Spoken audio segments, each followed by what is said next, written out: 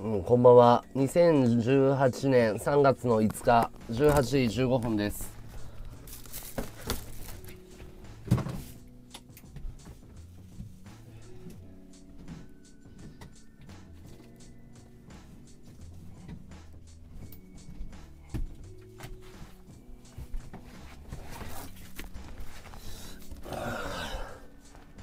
はい、どうも。風船ありがとう。風船ありがとね。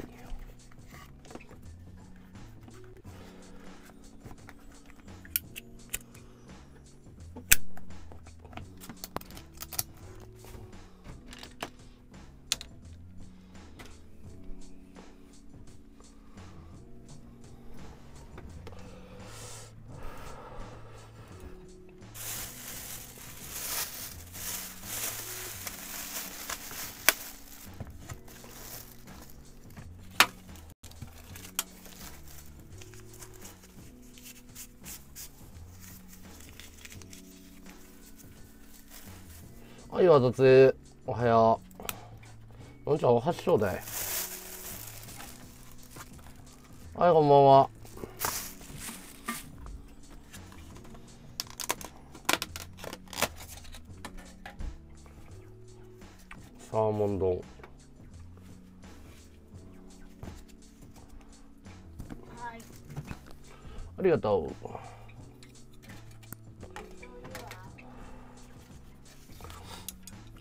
はいいやあるわ。うん。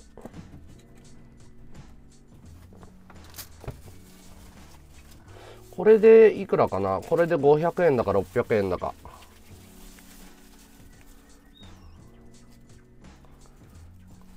俺は別に働かないやつはクズだと思わないよ。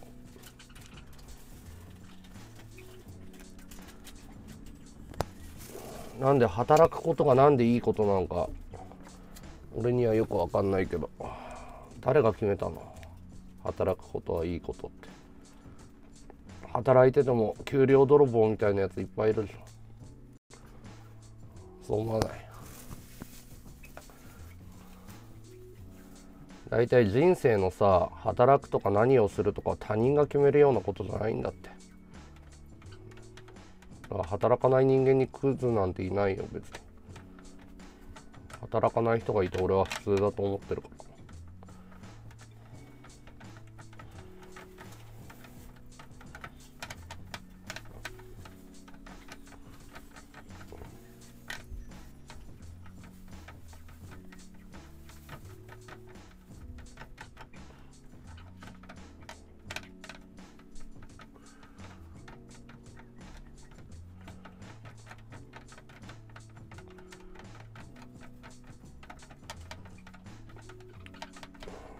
それうなちゃんマンの気持ちわかるよ。それうなちゃんマンの気持ちわかる。あのねなんか放送のこととか配信者特にそうなんだけど放送のこととかあんまりね口出されたくないっていうのあると思うよ。ニコ生戻ろうとかなんだか。それブロックするの別にちゃんマンの気持ち俺わかるけどな。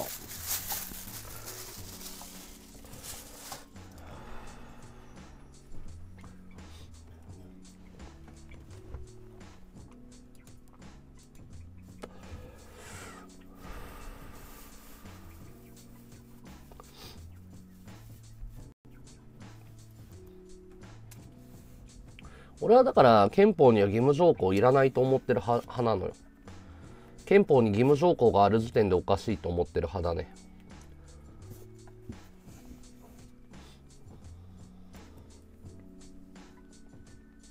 そうそうそうそう。どう？全くそう。働くことが個人の幸福につながらない社会がおかしいと思ってるから。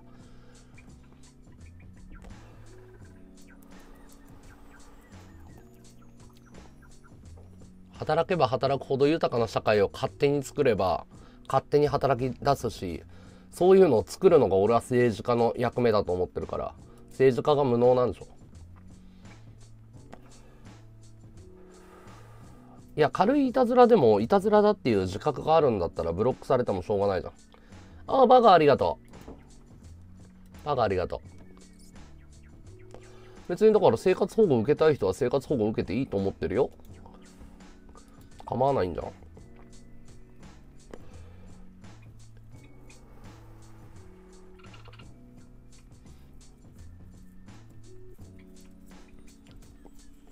はいワード2いただきます。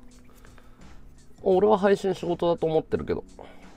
てか普通の人の仕事感とちょっと違うかもしれないけど。俺は別に何だろうなサラリーマンやるのが俺には合ってなかったのね。なんか搾取されてると思ったから。あ自分の力で稼ぐのは普通の商売だと思ってたから。大企業に勤めるのが偉いと思ってない。バカバカしいじゃ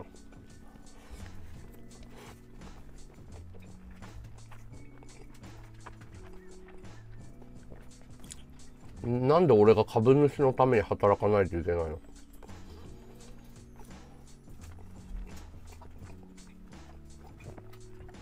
過疎っていうかまあいや稼げてたら仕事ね何やってようか稼げてたら仕事だと思うけど合法行為。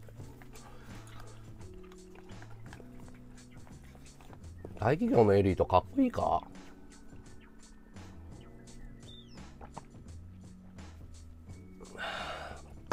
これあれだよ。600円ぐらいだよ。寿司。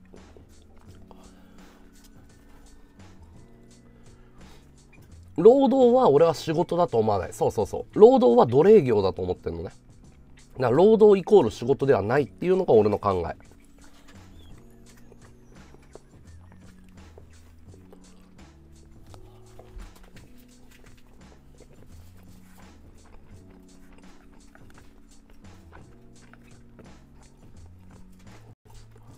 トロサーモン丼。600円。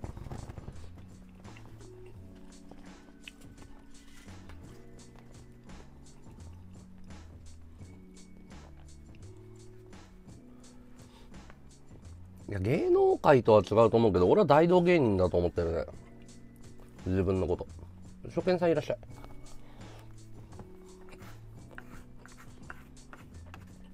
俺は自分のこと大道芸人だと思ってる。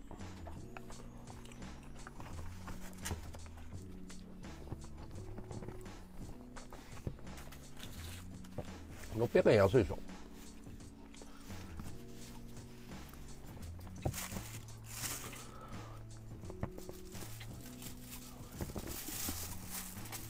要はどこに行っても何やっても喋りっていうパフォーマンスで稼げる能力が欲しかったの俺は。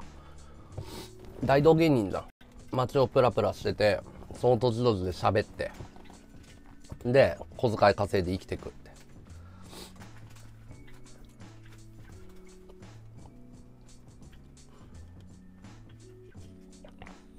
和道のために働いてるのかって思うことある？え何？そんなに俺に花火投げてんの？23号さんは。その考え方おかしくね。普通にだってキャバクラ行ったりゲーセン行ったりどこのお店に行ってもさ金かかるな。だから普通に俺の放送で時間潰したら俺にチップ投げてくれてサービスを受け取ってるわけじゃん。対等な関係じゃん。そんなに俺に投げてんの。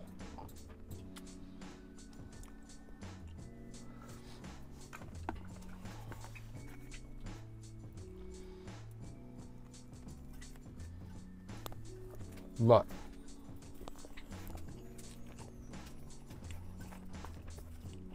い。いくらぐらい投げたのトータル。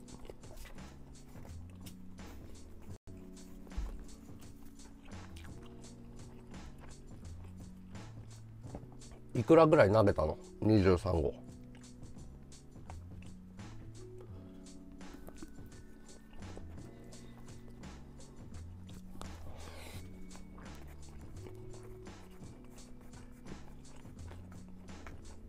野菜全然食ってない。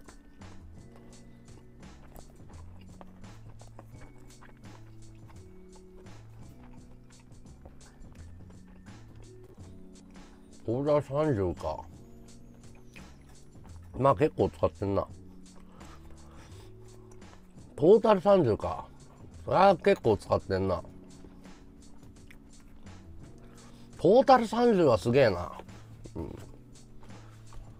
まあトータル30は使ってるな。うん、30万でしょ。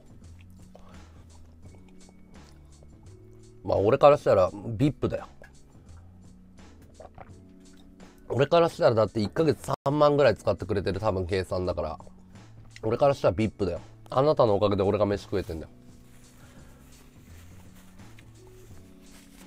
30発？?30 発？トータルお前さそれ1ヶ月に1発か2発だろ？それ普通だろ？1ヶ月に2発か3発だったら普通だよ。30万かと思ったら30発かよ。それで俺のために働いてるは言い過ぎだろ。2000円で食わせられんじゃねえ、食わせらんねえだろ。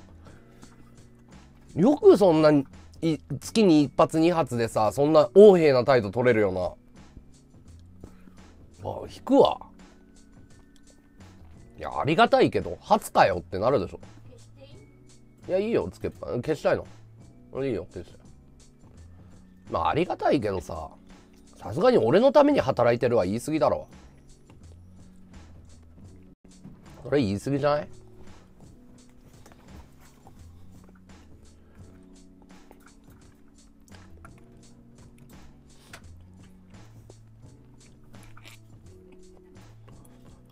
30万が一気に3万になったからね。まあでも30発は結構多いよ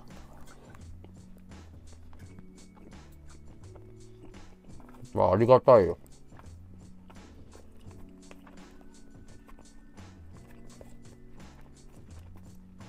まあ。トータル100万ぐらい使ってんだったらさ、俺何のために花火投げてんだろうっていうならわかるけど、トータル3万で俺和道のために働いてるとお前笑わせんなよ、ほんと。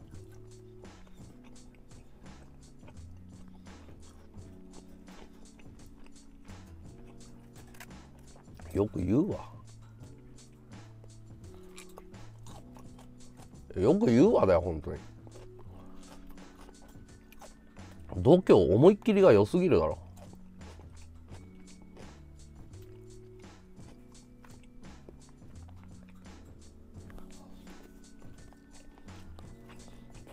いや1年で30発だったらコスパ良くない？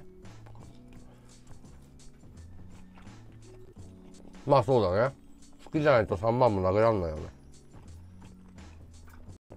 ありがたいよ。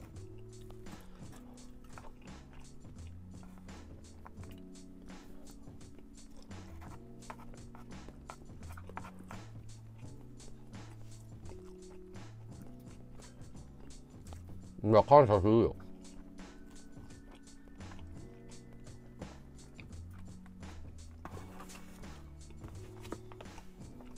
いやその物好きのおかげで俺は飯食えてんだよ。いやいやいやトータルさ別に1回叙々苑行くのとまあ年間3万円払って和道の放送ねこういい感じに見るって言ったら俺後者の方が価値があると思うよ。うん。そう思わない？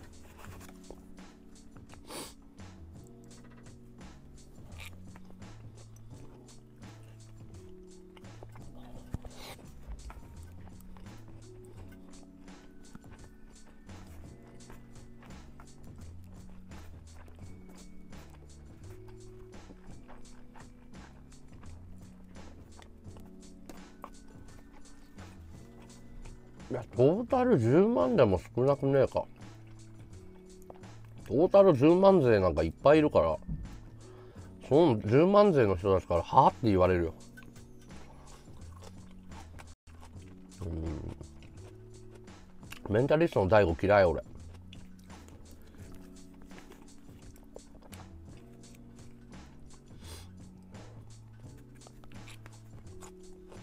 1ヶ月で30発も投げたってこと？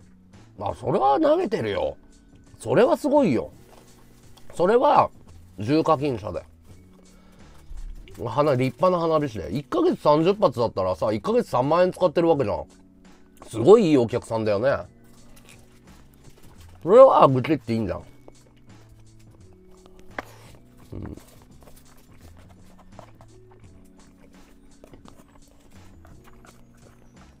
それはヘビーユーザーだよ。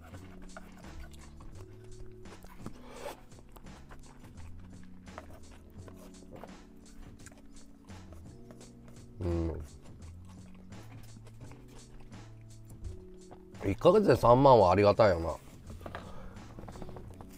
全然話が2点3点するからわけわかんなくなる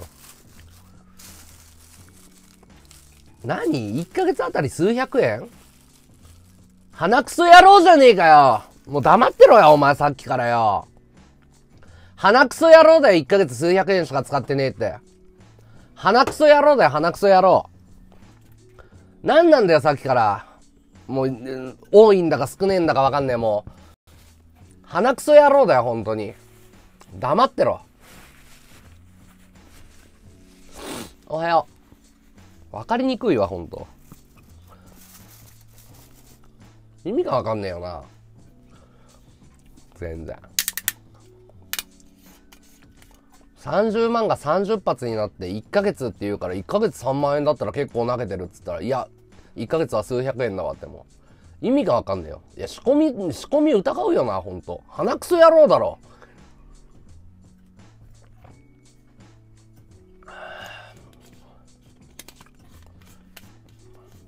初見さんいらっしゃい。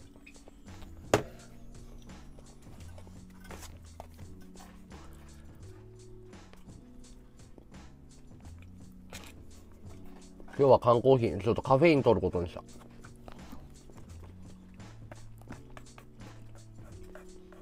なんか最近うつがひどいからカフェインでオーバードーズしようと思って。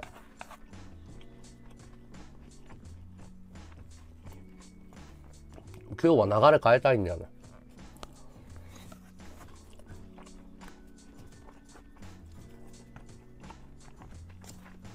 うん。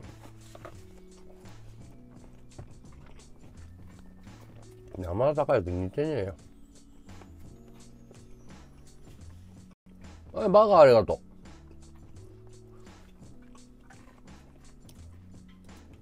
食振り食振りっていうかまああの歩みにお金落としてくれた人いるかんな。あカフェインダメなんだ。俺カフェインすげえ好き。カフェインは最高のドラッグだよ。最高。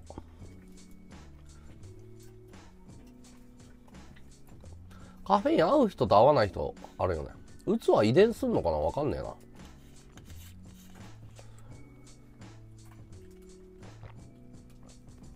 俺の中では1ヶ月1000円トータル1ヶ月1000円投げてくれたら俺は本当にありがたいと思ってるね。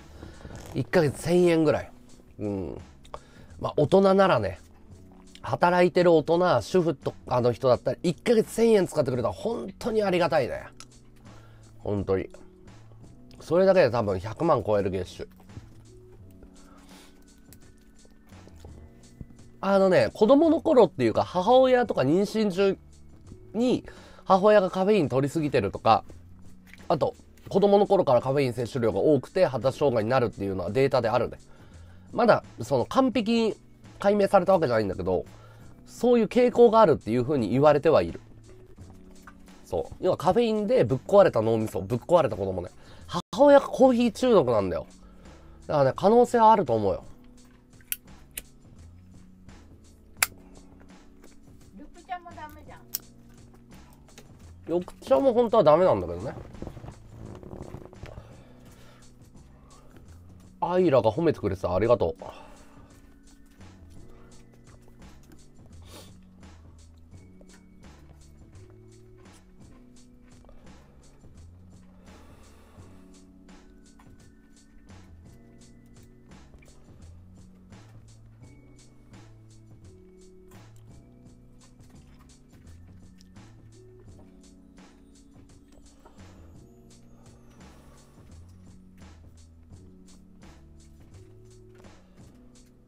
う、感じるどころかもう100%リスナーだなって顔でわかるよ。店員ですらわかるよ。っていう顔ね。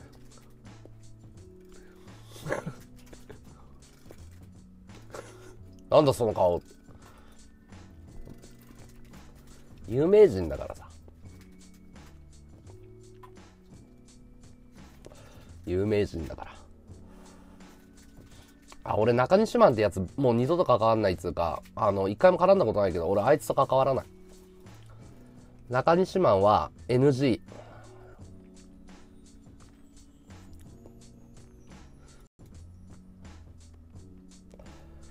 NG ですよ。バカ5個ありがとう。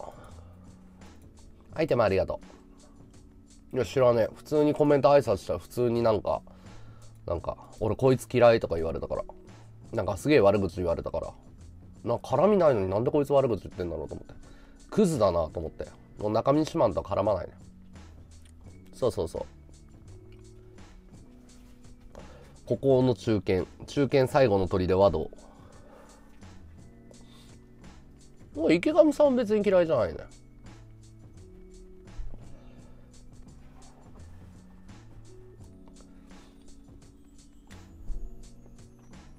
券売機で切符は買えるよ。質問の意味が分かんないけどちょっと。券売機で切符は買えるけど、うん、っていうかむしろなんなら切符派だけど俺。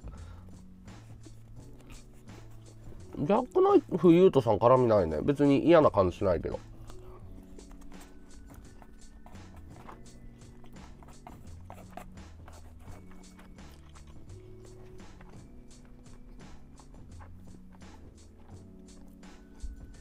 いやほんとそれ。最近はコラボ多すぎ。叱らないやつが。叱らないやつが賭け算したら面白くなくなるんだよ。まずピンで面白いことプラスの力になってからコラボやれよ。他人のふんどしで相撲とんじゃねえよって思うよな。ほんとそれ。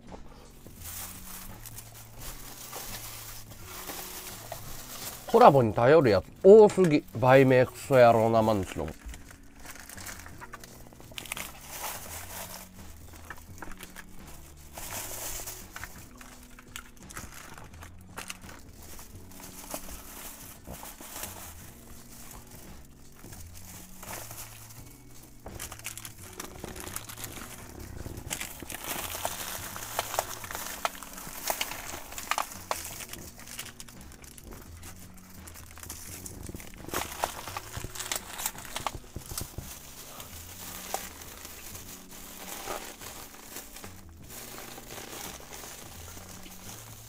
こびないっつうかさつるみたくねえわ。なんか慣れ合いとかつるみとかクソ出せよ。なんも面白くねえんだもん。あんなん見せられてもな。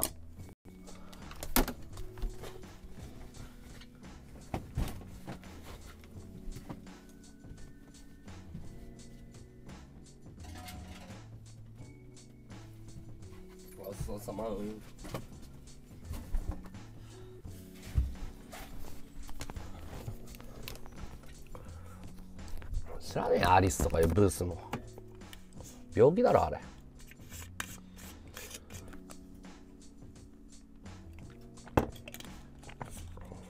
いや田口さん別に絡みないね。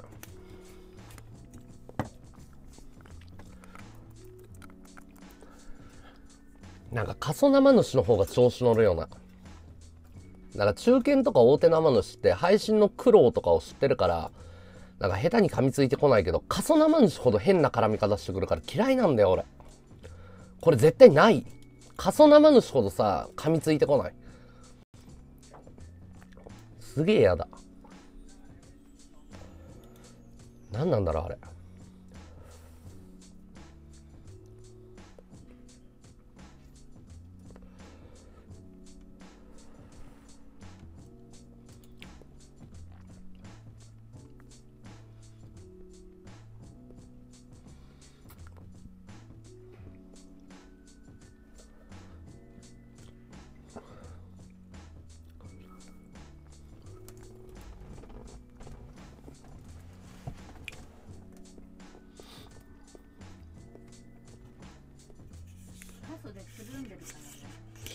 はいいけどよくわかんない。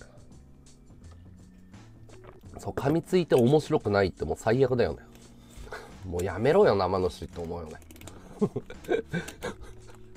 何のためにお前生主やってんだろ噛みつく上にオチがないともうどうしようもねえかんなほんと。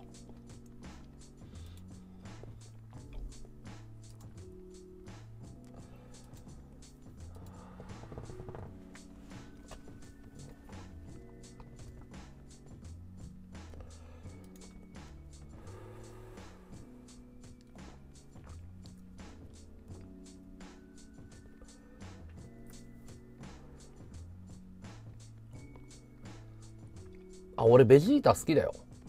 俺正直言うとベジータ好きだね。ベジータがあのスーパーサイヤ人になった理由俺大爆笑したもんね。自分に腹が立ったっていう理由なんだよ。悟空はクリリンを殺され侮辱されたことで切れたじゃん。仲間のために伝説の戦士になったの。ベジータは自分の壁が越えられなくて絶望してそんな自分に腹が立ってサイヤ人になるってすごくない？設定が。うっすー花火ありがとう俺ね、あのベジータのサイヤ人になった理由聞かされた時にね、こいつすげえなと思って。なんかおも、ね、なんか良くない？ベジータ。自分に腹が立って伝説になるっていう。あ、ベジータ死ぬほどプライド高いけど、俺キャラが立って好きだよ、ベジータ。ただ、ドラゴンボールの終わりの、お前がナンバーワンだは絶対聞きたくなかったけどね。ベジータらしいよね。ベジータ努力家なんだよね、意外とね。プライド高いし、エリートなんだけど。なんか、お前がナンバーワンだは聞きたくなかったけど、あそこは良かったね。あの、何がいいかっていうと、トランクスは優しく、あの、魔人ブー編でね、自爆するんだけど、トランクスは優しくトンってやって、ガッ、と、父さんパタっていつもの気絶パターンなの。トンって。その後、ゴテンが、トランクスくんって言って、その後、トランクスどうやって気絶させるかっていうと、ドコーンって腹にパンチ入れるの。え、嘘と思って。5点には腹パンと思って。トラン、自分の息子にはさ、トンっつって、優しくこう、優しくトンっつって、トランクスごめんよみたいな感じで、こう、気絶させるんだけど、5点に腹パンドーンだからね、嘘だろとか思って、あれは、なんかさ、悟空に対する恨みこもってたよね、なんか。くっそ笑ったもん、俺。うわ、やっぱり嫌いなんだ、と思って。やっぱり、5点嫌いだったんだ、って。あれは良かったよ。うん、厳しかったよ。腹パンだよ、腹パン。溝落ちに思いっきり入れてたからね。うん。生まれ変わるとしたら誰になりたいとか特にないな。特にない。ベジータは哀愁があるのよ。ピッコロさんとかベジータはキャラ立ちがすごくいいね。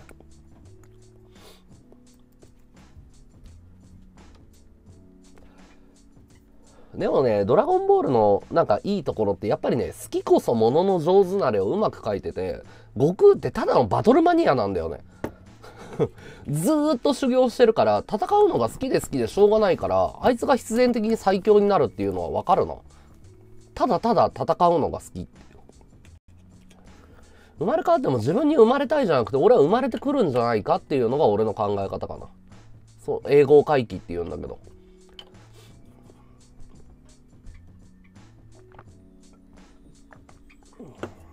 なんか誰かに生まれ変わりたいっていう願望はないね。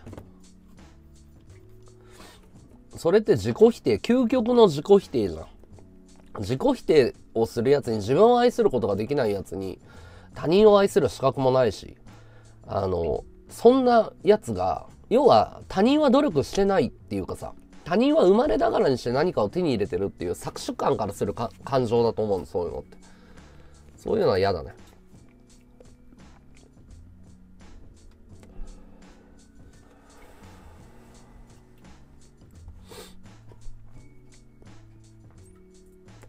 ヤムチャ忘れないでくれっていうか、ヤムチャが本来クリリンのポジションだったんだよ。ベジータとかピッコロとか、永遠のライバルキャラだったんだけど。だけど、大人の事情で、あの、声優さんのギャラが上がったの。ヤムチャのギャラが急に上がったのね。人気が出て。で、これ本当変な話なんだけど。で、鳥山明が集英社から言われて、まあ、島鳥編集長に言われて、ヤムチャがあの、今後使うと、アニメの方のギャラの予算が高くなるから、サブキャラに移行してくれって言ったんだよ。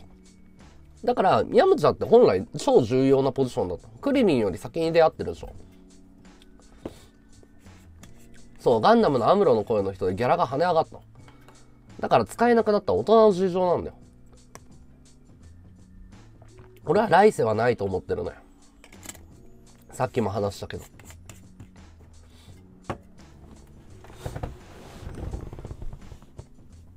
あ、エミにボコボコにされるワドが18号にボコられるベジータと被った。てか18号エロいよな。なんか可愛いよね。18号はすごいセクシーだと思う。今の自分をどう見てる？ああいい質問だなすごくいい質問だねああどう見てるかうーん子供の頃なりたかった自分は手に入れたのよ32歳って結構結構そのいろいろ考えててこの年齢のことを考えててまあ予想通りになったっていうか。職業とか正直ね何一つ叶わなかったの。あの漫画家とかさ映画監督とか。だけどライフスタイルとか生き方みたいなのはビッタビタに合ってるんだよ。だからまあ悪くないかな。悪くない。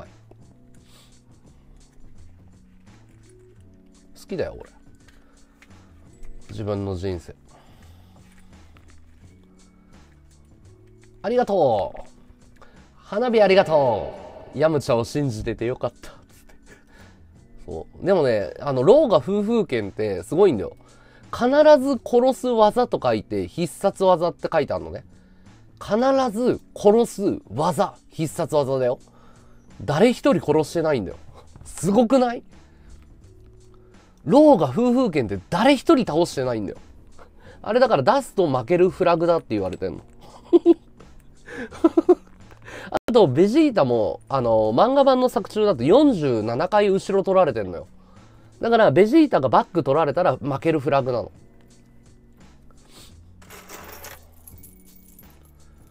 うん。でも俺ルローニケンシンってすごいよね。殺さずの誓いっていうかさ刃物を逆にするっていうあの発想はすごいなと思ったよ。何のための技なのかよくわかんないんだよねローガ夫婦剣。でもローガ夫婦剣ってドラゴンボールの中でも最高にかっこいい名前だよね。早期弾は結構やってるんじゃん栽培マンとか倒してんじゃんそうローガ夫婦剣ってドラゴンボールの中でも結構かっこいい部類の名前なのに。峰打ちうん。ルローニケンシンはあの人切り抜刀斎って呼ばれてたけどトラウマになっちゃって人を殺すことが。で今度は人を助ける剣を極めたいって言って 刃物が前についてなくて後ろ要はこう抜刀した時にこっち側についてるの刃が。だから普通に切ると峰常に峰打ちになるっていうわけのわかんない刀なの。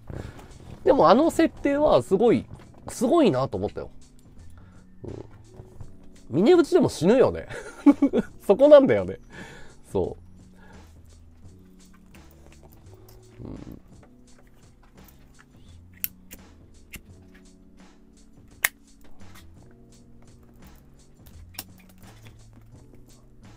はい、ワード2。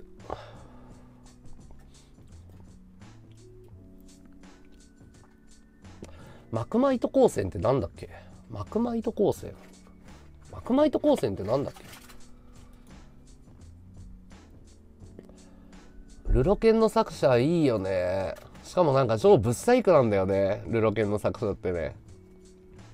こんばんは。なんだっけ？飛天三剣流。なんだっけ？いっぱいあるんだよね。うん。なんかあの、もうそのロリコンとかけて、飛天三剣流とかけた技がいっぱいあるんだけど、犯さずの誓いだっけ？なんだっけ？あれすげえ笑って、2チャンネラーが大奮起してたもん。捕まった捕まった。うん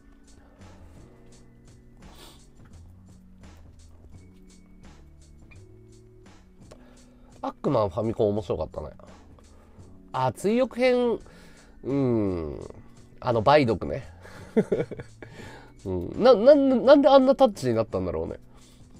なんかね、すごいんだよ。ルロ編の OVA 追憶編っていうのがね、そういうバジリスクみたいなタッチなんだよね。絵が、絵がね、濃いっていうか。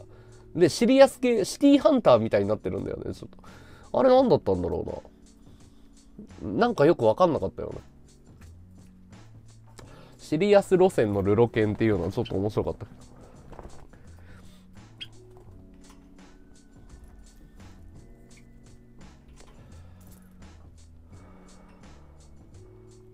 ど。あ、ルローニケンシンね。タオパイパイ覚えてるよ。タオパイパイは忘れないよ、俺らは。ていうか、タオパイパイ編面白かったよね。ウパだっけ？お父さん殺されちゃうんだよね。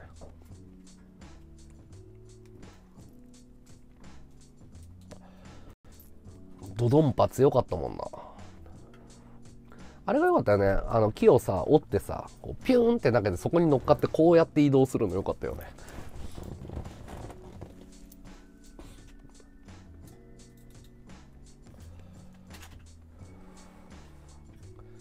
ペンギン村ね。フォローありがとう。ナルトは微妙だよ。でブリーチはもっと微妙だよ。俺ねあのねジャンプの中でナルトとブリーチは本当に意味がわからないと思って特にブリーチがすごいよ。ブリーチね別に悪くないんだけど意味がわからないの。全然意味がわからないよ。ナルトはねうんナルトは惜しいって感じだったね。ナルトとブリーチはなんかまさに平成って感じだよね。うん。そうなんだよね。やっぱフリーザ編で終わっとくべきだったよね。フリーザ編まではすげえ面白かったよねストーリー。あとはもう惰性でやってるからね。引っ張るだけっていう感じだった。ナルトはねあの中任試験が面白かったかな。中試験が面白いんだよねナルトは。幽白書面白いね。でもハンターハンターの方が面白いじゃん。悠々白書をグレードアップさせた感じだだから今考えるとさ悠々白書のさあの7人のさ能力者たちってあれ念能力だよね。ゲーマーとかさサイコロこうやってやるやつ。パンって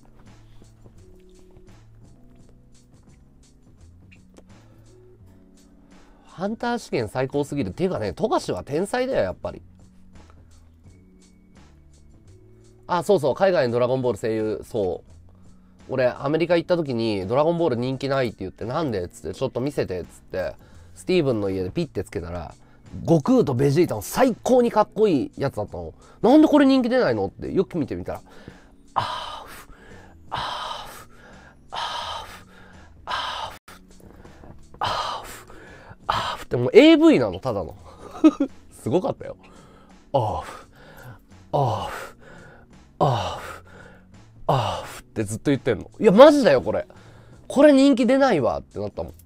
声優がクソなの。マジでビビるよ。アメリカ版ドラゴンボール。これはダメだわって。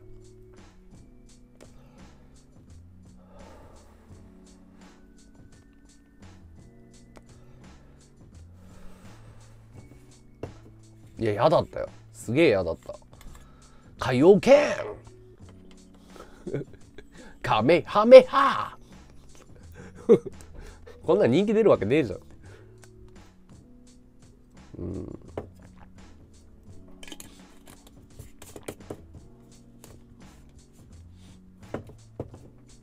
海外版ドラゴンボール見てるのは香ばしいね。素晴らしいね。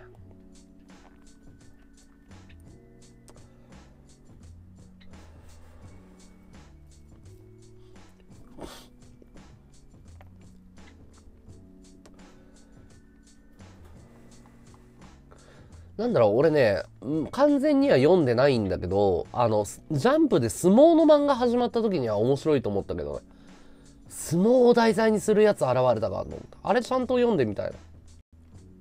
実写見なかったな。うん。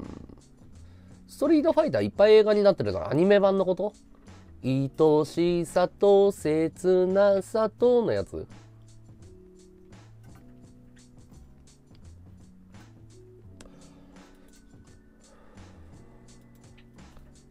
ちょっとでもストリートファイターはストーリー作るの無理があるよなあれは。ジョジョは俺は第4部が好きなのね岸辺露伴とかあのジョジョースケだっけ？東方丈介とかのやつが好きだね。あれは最高傑作だったと思う。なんかそのもう完全なバトルものだけどそのジョジョのキャラっていうかネタっつうの側が固まったのが3部じゃん。3部も嫌いじゃないの。でも4部はなんか本当に不思議な冒険っていう初期のコンセプトとその不思議感となんかバトルものの噛み合い方がすごくて。うん。4部が好きだね俺は。だってクレイジーダイヤモンドが直すってすごくない？主人公がさ回復系なんだよ。あれよかったね。あとまあキラヨシカゲのキャラが最高だったかな。キラヨシカゲダイツァバスト。ですよ。あれはすごいよかった。キラ吉影また出てきてほしいも。んディオよりも好きだわ俺。吉影は。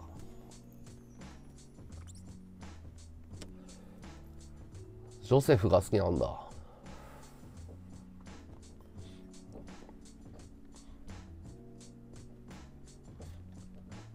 うんわかるわかる。北村和樹ね。わかるわかる。まんまだよね。うん。北村さんしかできないよねキラー。わかるすげえわかる。キラー吉影まあ実写はもう俺はアニメの実写は何一つ期待しないって決めてるから。見ることもない。いや北村さんしかないでしょ。絶対似合うよね。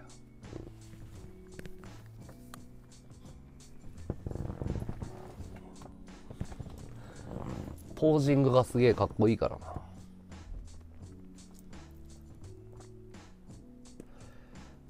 最初小学生の頃見れなかったけどな。もう絵が独特すぎて面白そうなんだ何度トライしても心が折れるんだよね。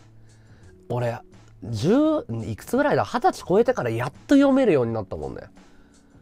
面白かった。5部は？えっ、と5部はギャングのやつ。ギャングはわからない。ただあのなんだろう。あれが良くなかった。あのジョリーンが最悪だったな。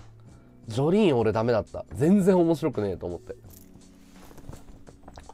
あのギャング編はすごい好きだったけどな。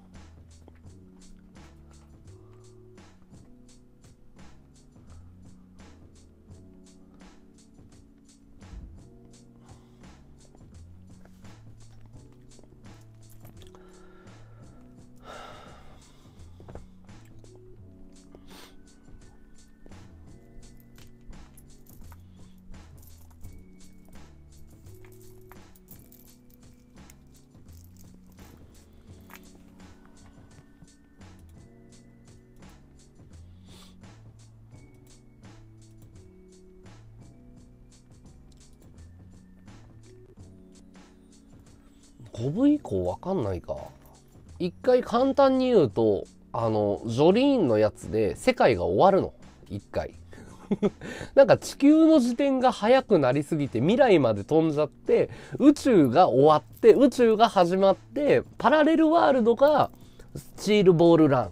要要は第一部に戻る。でスチールボールランの世界観を継承してる話。要は第一部に戻るって振り出しに戻るっていう話だね。はどうだよ？はいこんばんは。儲かりまっか？うんみんな次第かな。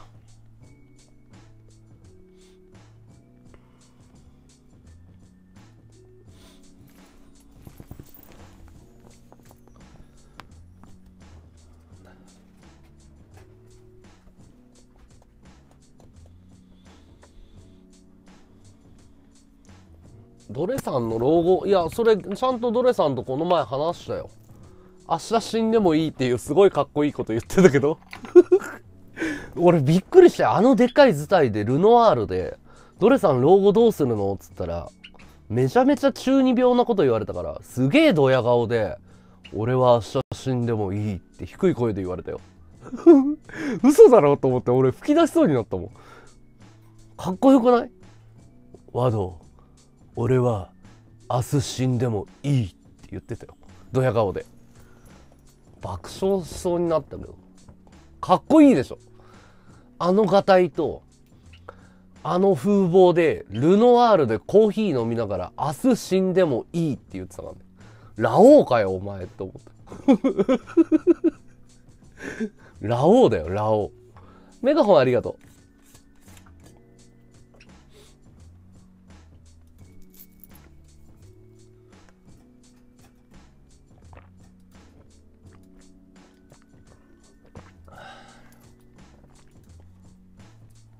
内股で言ってたよ、うん、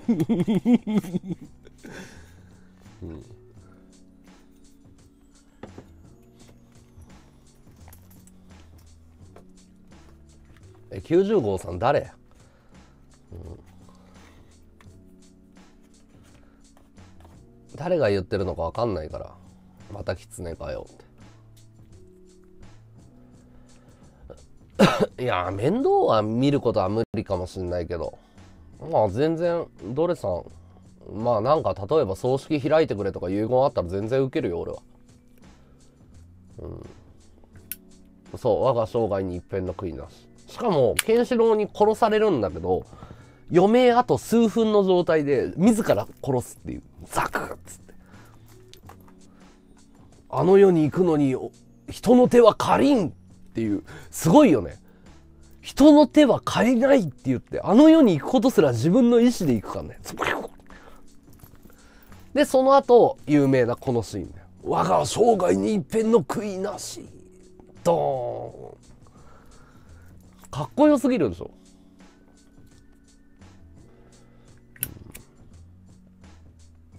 あのさスロットのさあの北斗の拳の商店感動するよね。ラオウ。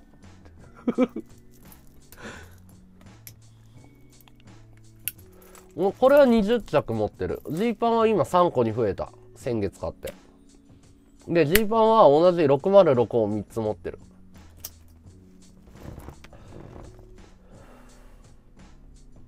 まあごく少数なんじゃないの？死は突然やってくるでしょ。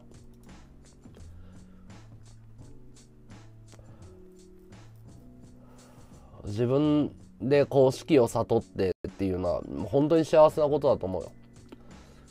うん。服はこだわりっつうかもうなんか服選ぶ時間がもったいねえって感じだよね。スティーブ・ジョブズは意識してない。あのね、子供の頃から服に対してはいろいろあって。で、ほんと最近だとね、他の服着てるとダメだからすぐ着替えちゃう。もうプライベートでもずっとそうだよ。この服だよ。T シャツ、ジーパン。うん。同じ。ジョブズはね、禅の思想から来てるのね。俺は別にそういうことだよ。めんどくさいっていう。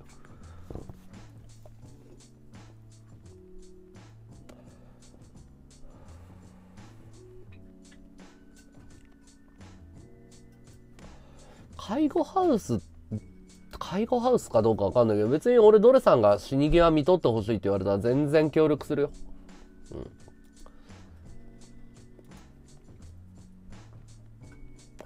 古着じゃないよ。今新しいあのラインナップ出てんの。復刻版。だから新品だよ。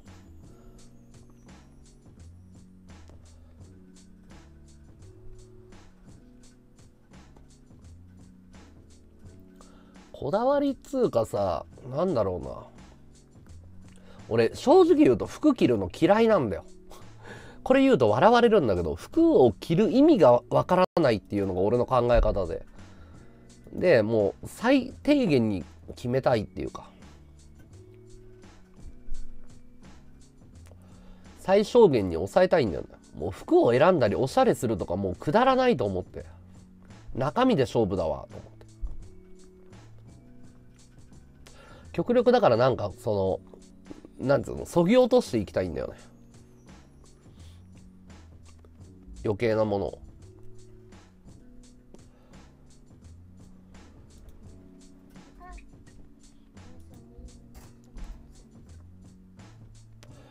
介護？介護？あ TCP はねそれ聞いたことがあってテルが新八丁をリスペクトしててテルから言われたよ沖縄の時「ワード新八丁すげえな」って言うから「どうした?」っつって「いや新八丁って服コロコロ変えるの不思議で聞いたんだってテルが「なんでそんな服コロコロ変えんの?」って。そしたら新八丁がこう答えたんだって。俺のリスナーはあの俺が髪型を変えたり服を変えて喜んでくれるんだよ。だから同じ服を一日何回も着てたらダメで毎回毎回枠が変わるたびに着替えたらそれだけで喜んでくれる人がいるから俺はそれくらいで喜んでもらえるなら毎回服変えたりおしゃれするよ。って言ってテルが響いたの。あすげえプロ意識高えって。だからそれは新八丁から学んだの。テルが服変えるの見た目を気にするのは。あ、こういうことも意識しないと女性リスナーゲットできないんだと。俺は真逆ね。いつどこで誰があっても街中で見ても、あ、和道だって絶対わかるように同じものを身につける。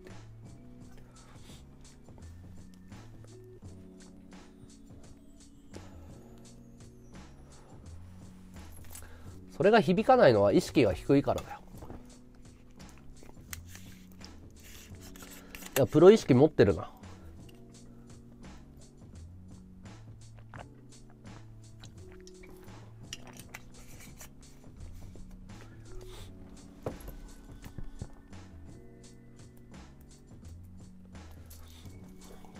いやスタイリストでそう考えてるのはプロ意識ないでしょ。惰性で仕事やってんでしょ。その業界にいて響かないってことはプロ意識がないんだよあなたには。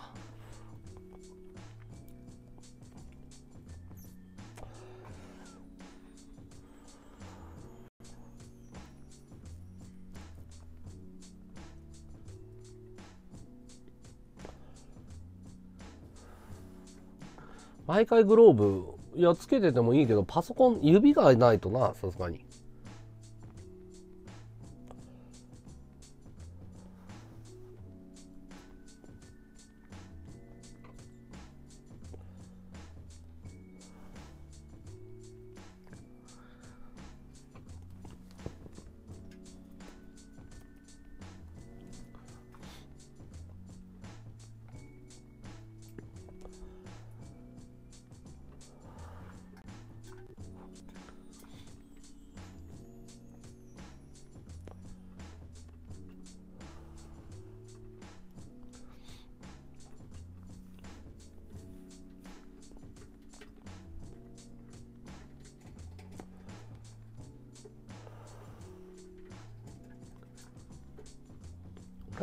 マリスト。じゃないでしょ。こんだけ物欲に囲まれてる部屋に住んでミニマリストって笑われるぞ。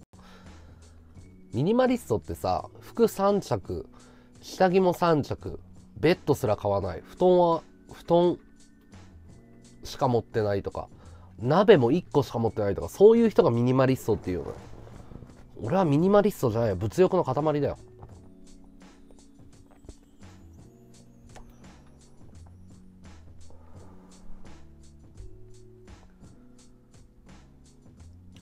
いや、コーポレートカラーとかじゃなくて、あれ、俺のアスペが多分、あの、異常な黒とか赤とか白とかに異常なこだわりがあるでしょ。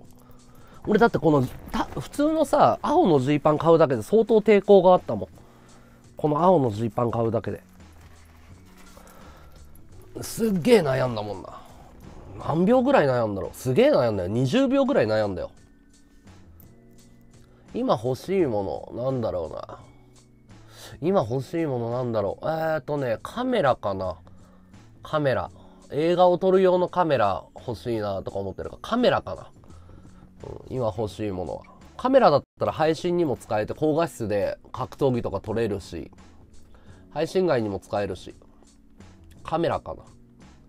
俺にとって20秒って時間相当悩むに、俺ほんと3秒も悩まないもん。いや、ほんとだよ、のんちゃんに聞いてごらん。全く悩まないから。ね。あっけらかんだよね、いつも。だから俺にとっての20秒って、みんなにとっては3ヶ月悩んだわっていうのと一緒だよ。俺もう悩まないって決めてるから。その俺が20秒、このジーパン買うのに20秒悩んだって相当だからね。今日あったかいよ、こっちは。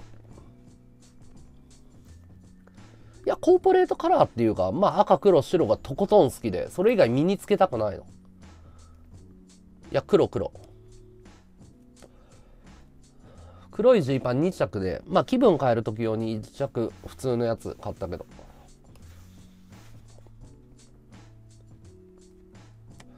買い物即決っていうか、俺服の買い方が普通の人と違うのよ。服屋さんに入ったらまず結構笑われるのね。俺棚のメンズのコーナーの片っ端から材質を触っていくの、こうやって。値札じゃないの。柄じゃないの。デザインじゃないの。服のこの材質を触るの、まずこうやって。で、着れるものを選ぶの。だから、い片っ端から触っていくの。こうやって。で、この食感がダメだともう買えないの。だからめんどくさいんだよ。のんちゃんが浮気しても悩まない。浮気したらまあ俺がダメな男だったなと思って。まあ別れるは別れるけど、スパッと別れるけど。うんと、まず俺がなんでダメだったのかっていうのと、彼女を浮気させたのは俺だって考えるかな。木ゴリのバーってどうだった？ああ、いや、なんか、タバコ吸えないっていうのが欠点なのと、値段は意外と安かったっていうのと、ん、なんか店っていうよりもなんか倉庫って感じだね。要は内装がしっかりしてなかったね。店じゃなかったね。値段は良かった。接客も良かった。タバコ吸えないのは欠点。あと、内装が良くなかったね。内装にこだわりが異常にないっていうか。まあそんな感じでいいとこ悪いとこ。はい、お疲れ様。うん。アイテム投げるタイミングがない。え、いや、投げて投げて。投げて投げて。うん。雑談アイテム投げるタイミングがないなって言われても、投げてもらわないと、俺雑談配信者だから、投げてよ、今。内装ダメだったね、ちょっとね。あ、へ、閉店すんだ。まあまあ、いいんじゃない？うん。アイテムタイムはいいよ。うん。アイテムタイムやめたっていうか、あんまりね、極力アイテムの話もしたくないぐらいなんだよね。パフェありがとう。アイテムありがとうね。パフェありがとう。ありがとうございます。まあ、確かに投げづらいかもしれないけど、投げる空気、常にポンポンポンポン投げるっていう習慣つけてもらわないと困っちゃうよね。うん。服嫌いならまず絵頭みたいな。あ、俺絵頭の格好だから好きだよ。うん。き好き。うん。なんか、その、なんだろうな。うん。まあいいんじゃん。俺の店じゃないし。いや、ドラム叩きに行きたいんだよね。ドラム叩きに行こうかな。そうなんだよね。ドラム見たいって声結構、ね、ふわっちで多分まだお披露目全然してないから、ドラムは見たいし、叩きたいんだよね。ドラム叩き行きたいな。確かに。今日行く ?Wi-Fi レンタルして。行く？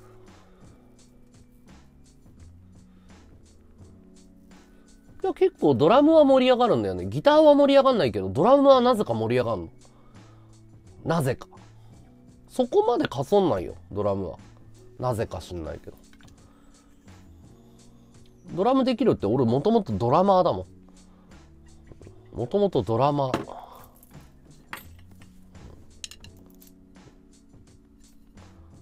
ドラム難しくないよ。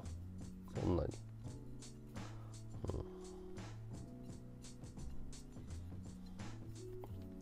まあ、俺は難しいプレイとかできないけど。セコロ頑張れよ、ありがとう。あのね、ドラムって手足バラバラに動かすって思ってる人多いんだけど、違くて、例えばさ、うんとね、 one, two, one, two ってこうコンビネーションで覚えるじゃん。右、左って。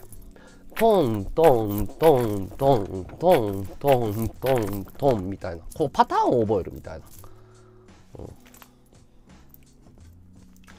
そういう感じ。体力か。あ、清原に似てる？まあ、一回だけ言われたことある、中学生の頃に。清春は俺のヒーローだよ。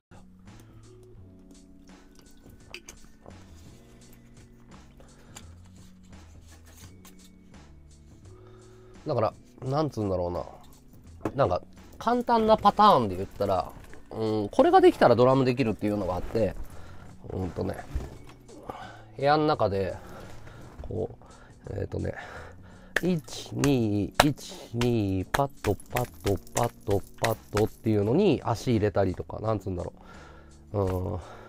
タンタンタンタンタンタンタンタンドンタンドンドンタンドンドンタンドンドンタンみたいなうんわかるこのうんとね足がまずドドドド1234タッタッタッタッタッタッタッタってこれかぶせられるわけじゃん。ドンドン。1234タンタンタンタンタンタンタンタンズンズンタンズンズンタンズンズンタンズンズンタンってもうこれできるんだよ髪赤にしたいんだよのんちゃんじゃじゃあのんちゃんさ俺さ自由にやりたいんだよおだってさじゃあのんちゃんね聞いて。これマジな話なんだけど俺が好きなんでしょ？のんちゃん。っていうことは俺が髪の毛赤くしたかったらそれ素敵って思わないとダメじゃない？そうか。そう思わない？うん。だって俺が赤くしたいってことは俺俺の全部が好きなんでしょ？のんちゃんは。うん。ってことは俺が赤がいいっつったらわのんちゃんもそうに決め和道さんが言うんだから赤がいいに決まってると思わない？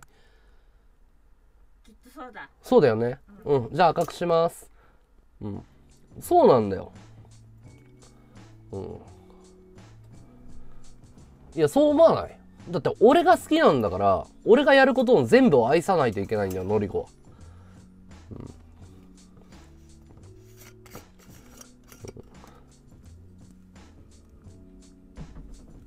いや、そうでしょ。意味がわかんないか。うん、わかんない人はわかんないよ。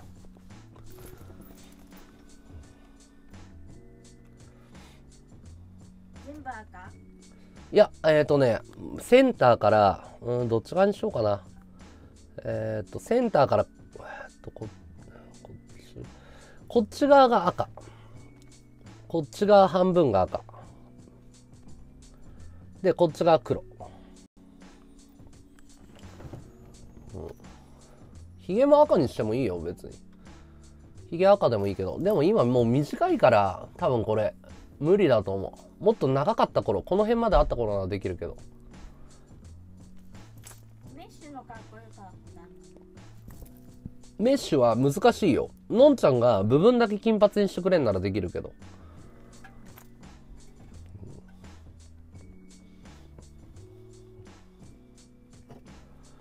やる？今から。オレンジはやだね。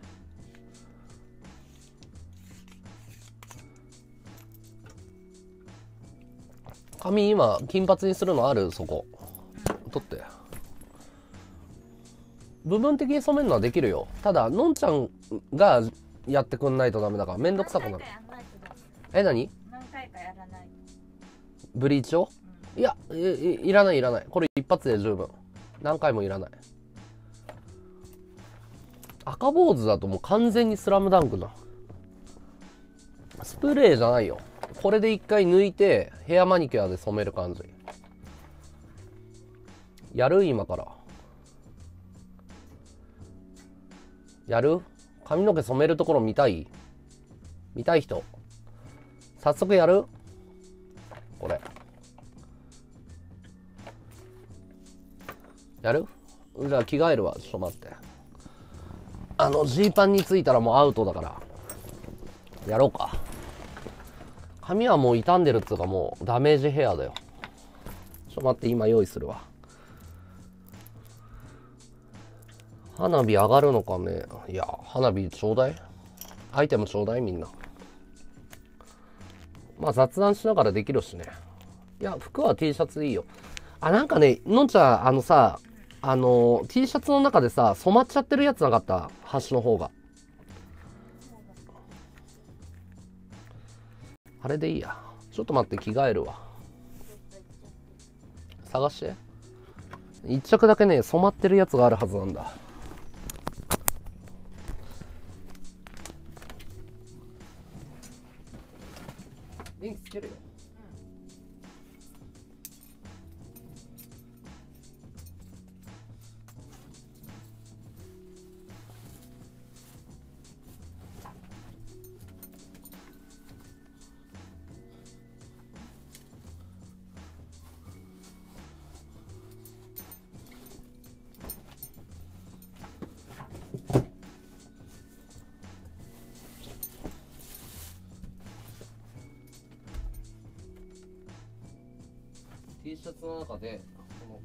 下の部分が止まっちゃってるやつある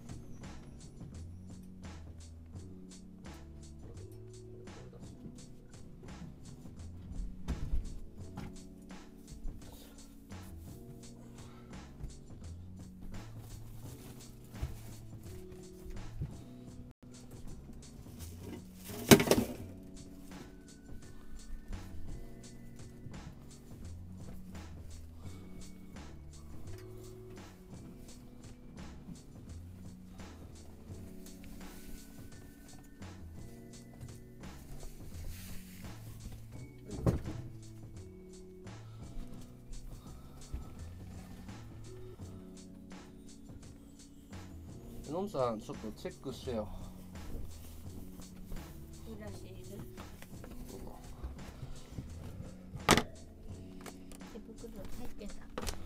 手袋入ってんのかな？あこれつけらんねえのか。聞こえる？声。聞こえる？は。濡らしたら染まんなくない？さ半分に分けてくんない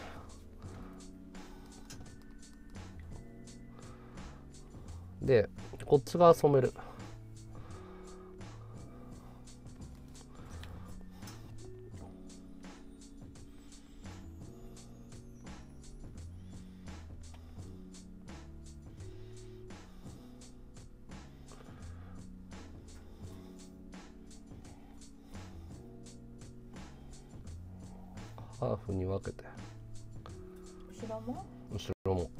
全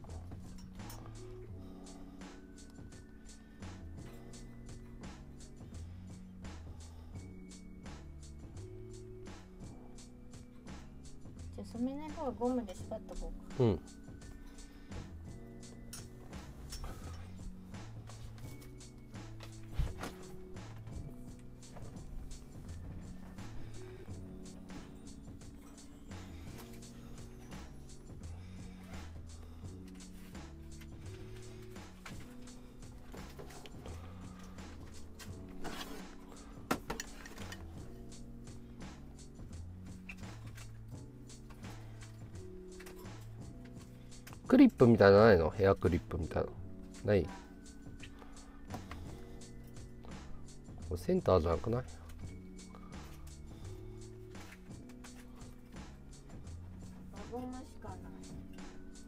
輪ゴムでいいけど。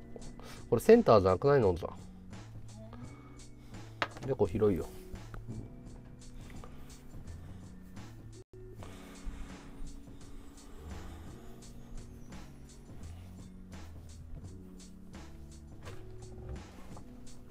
ちゃんと真ん中にして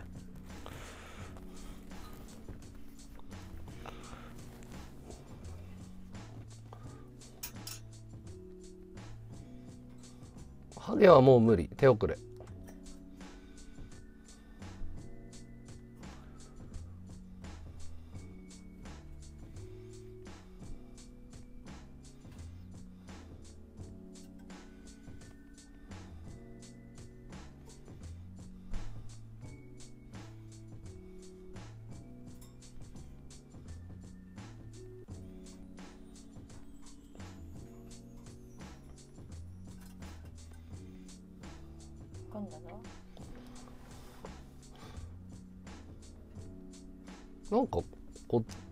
数が多くない？わかんないけど。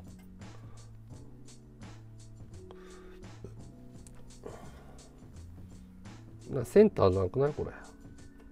わかんえ？センターかこれ。ちょっとこっち側が少ない気がするんだけど。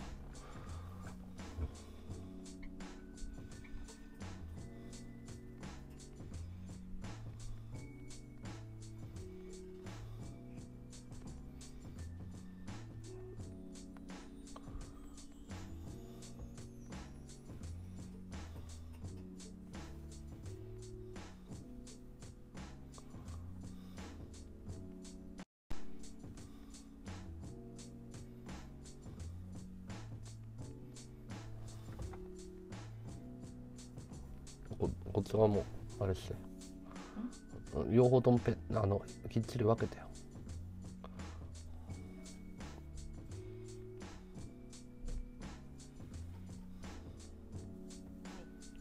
どう？センター？これであ合ってる？これでいいかな？上の方バラバラじゃない？後ろこう行くんだよ。やって。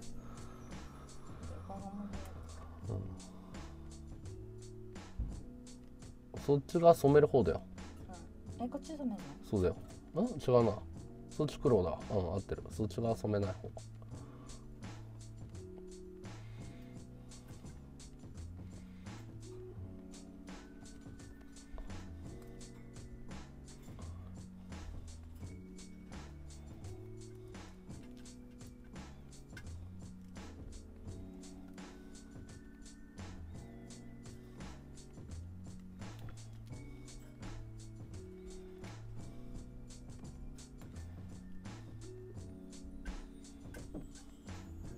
本ありがとう。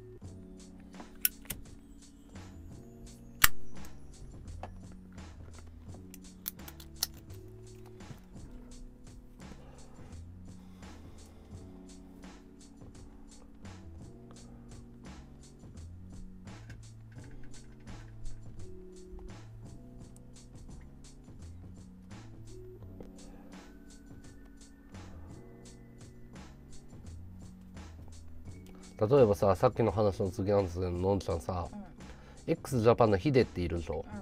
ヒデ黒髪の方が似合うと思うってファンが言う？言わかる？うん、ヒデは何色がいい？ピンク。和道は？赤。だよね。そうだね。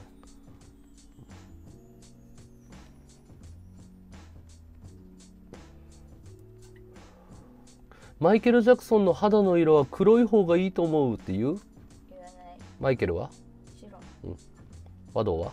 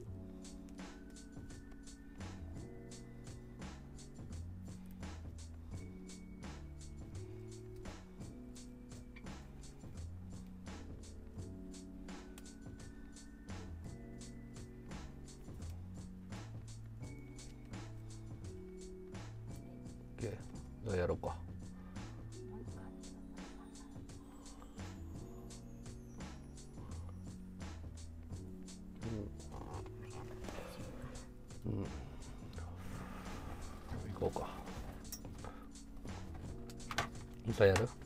やってくれる？切るさひげはどうする？ひげはいい。お土産だけでいい。こっち側、ま、金髪に染めて、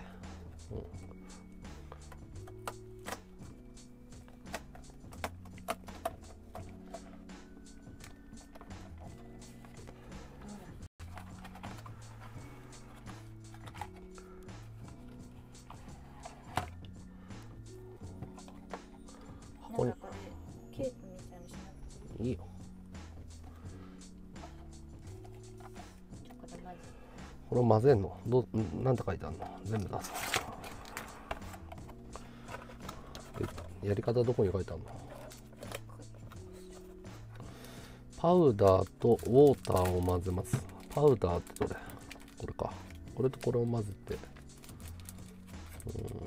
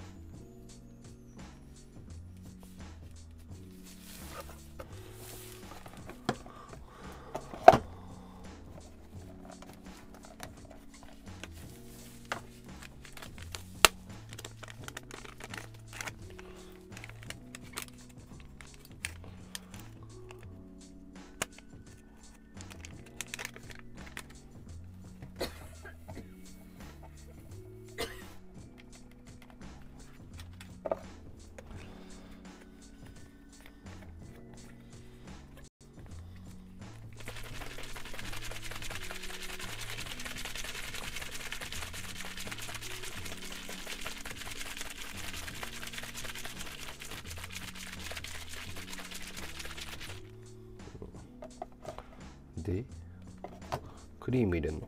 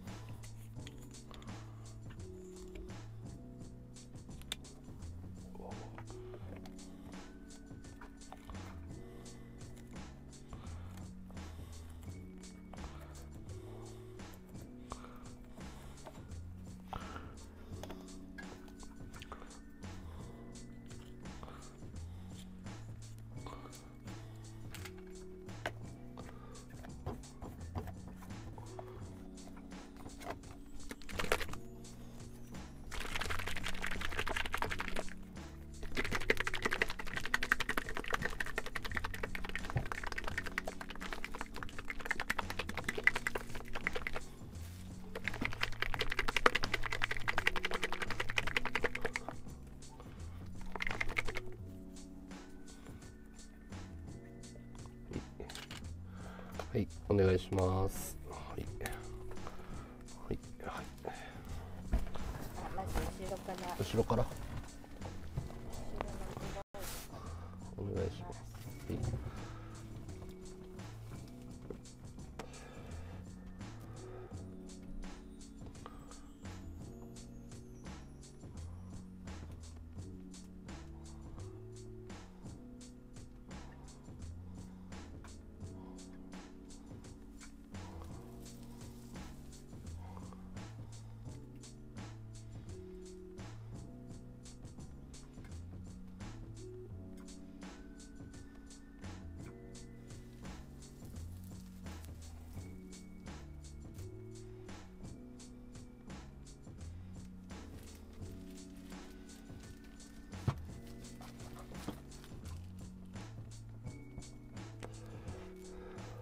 手でワシャワシャやった方がよくない？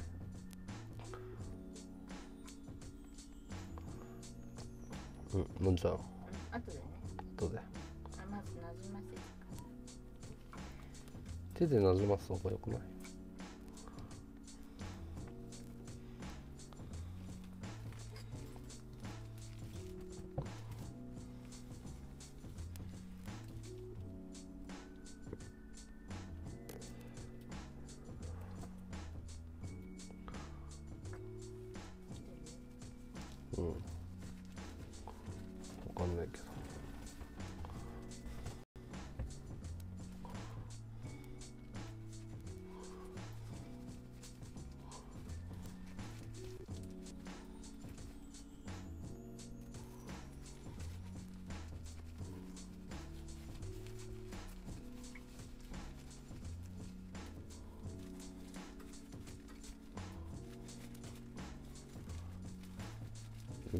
指が短いのか。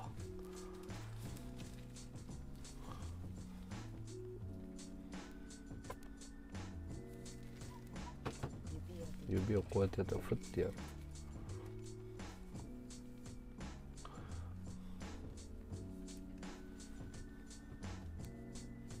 なじませないとムラになるよ。早くない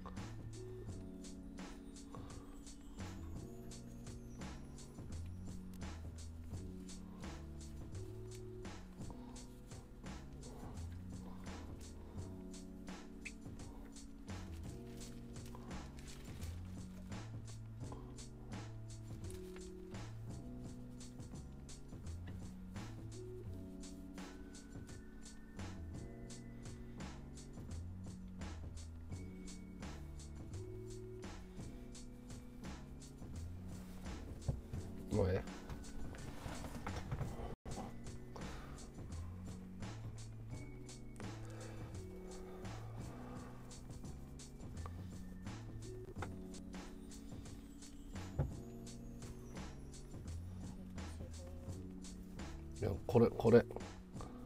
これ一番大事なとこだよ。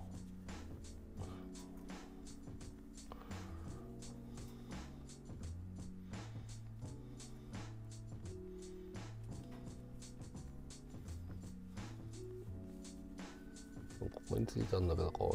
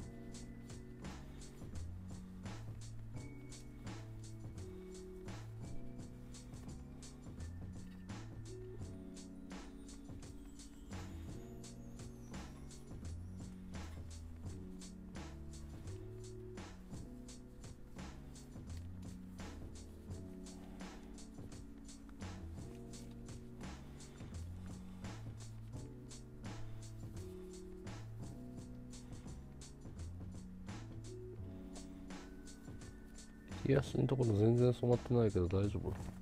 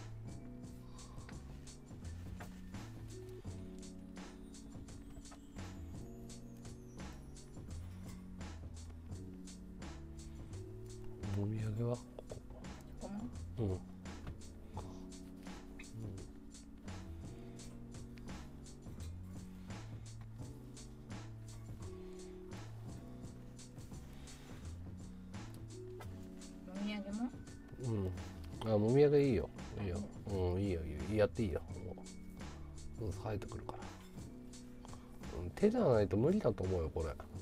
なじまないよ。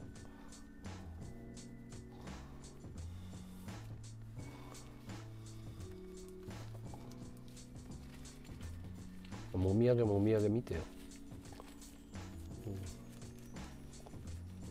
そうそうそう。ここここね。ここ。ここ。そうそうそう。一番大事だから。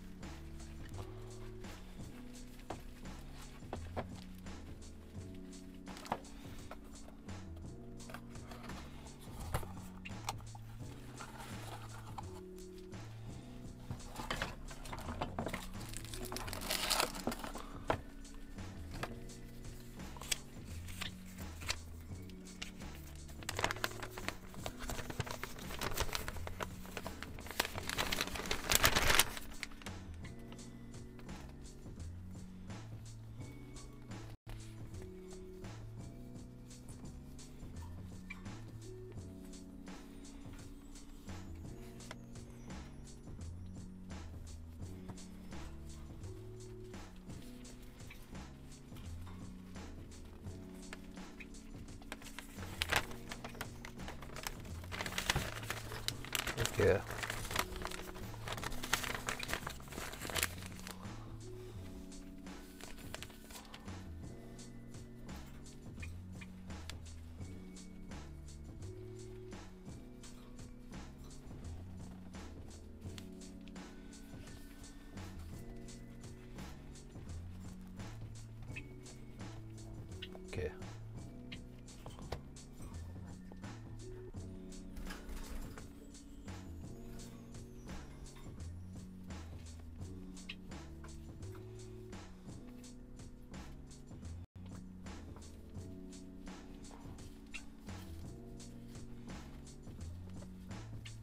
痛い痛い痛い。頭引い。てうおー効く。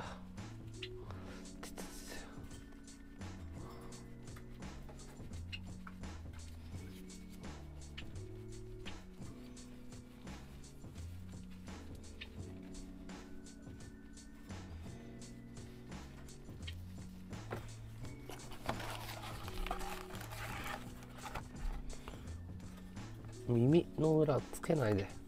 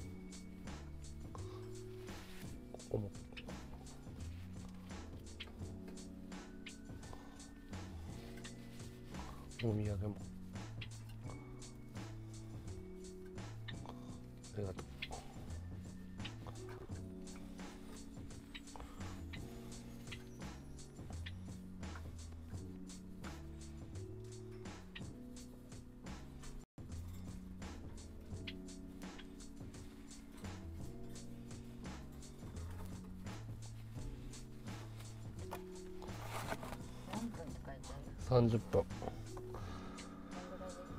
うん。全部使った。全部使い切っていいよ。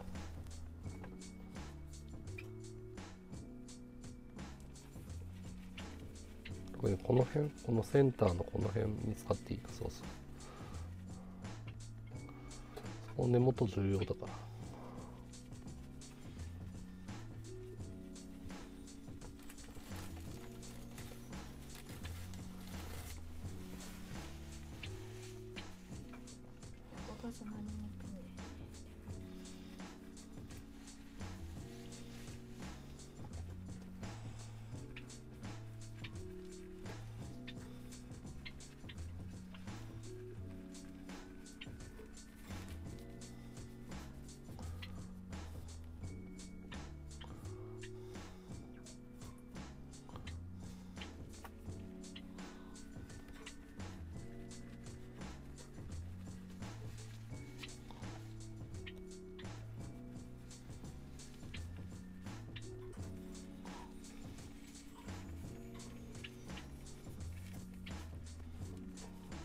してドライヤーで温める？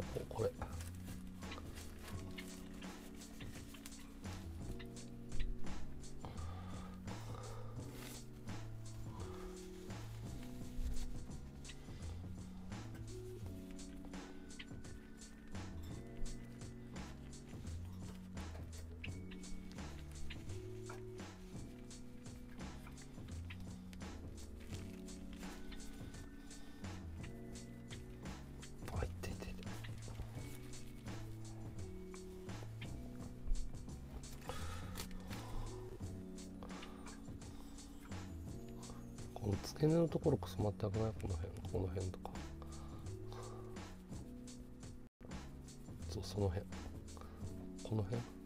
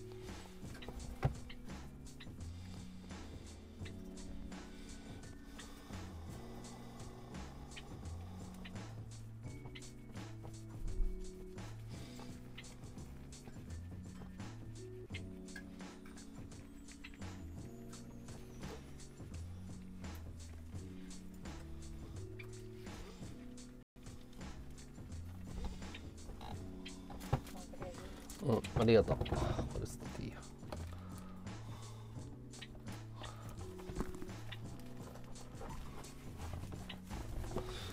ありがとう。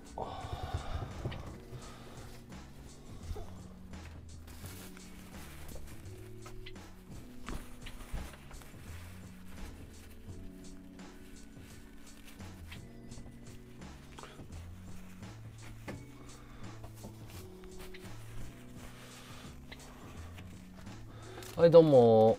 ただいま。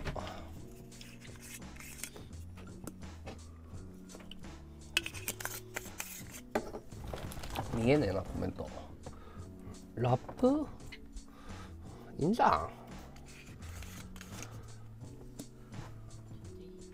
うん。シ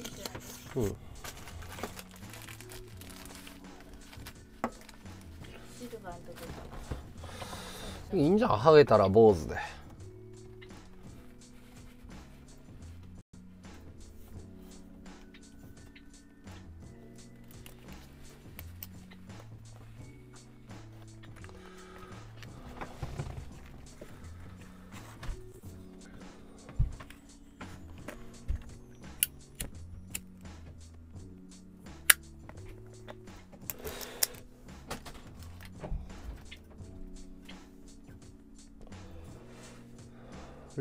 あるけどいいんじゃん。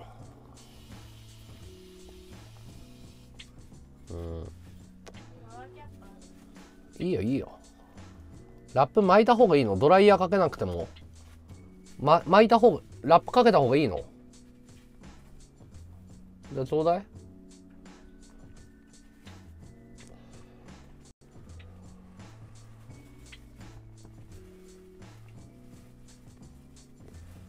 ラップやった方がいい？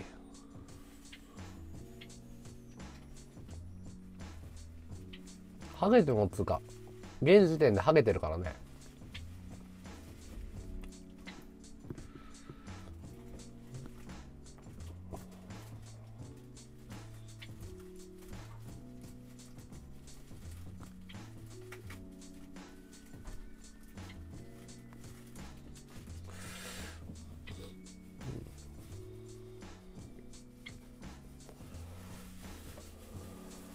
ラップかけた方がいい。ラップかけた方がいいありがとう。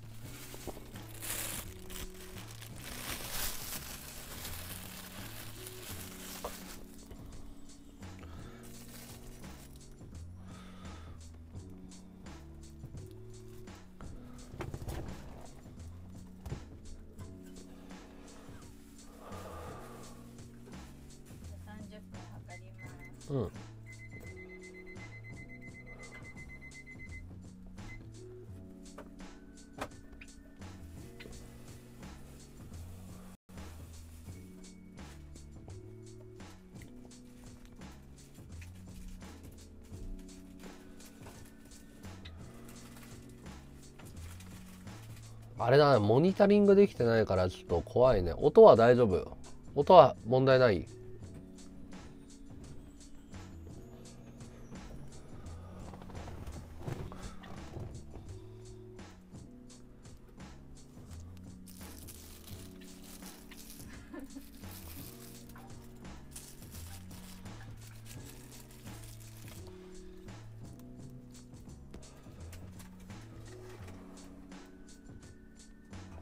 大丈夫？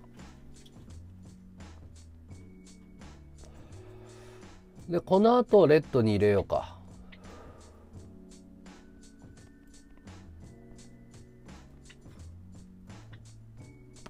これ染める用のやつ。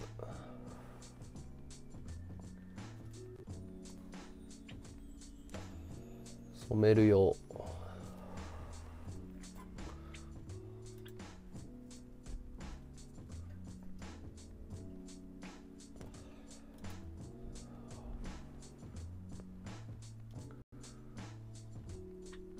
疲れ様です。お疲れっす。これサウナ用じゃなくて、これは髪の毛染める用だよね、のんちゃんの。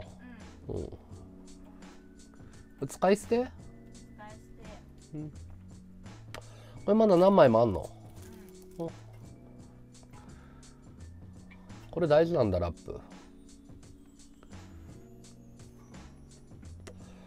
ドライヤー当てたら配信できないけどいらなくない？雑談やってた方がいいでしょ。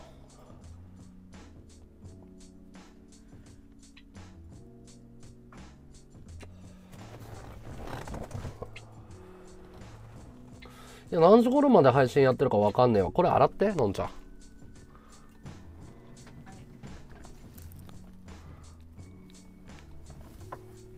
わかんねえ何時頃までやってるか。気分。花火が上がり続けたらエンドレスだよ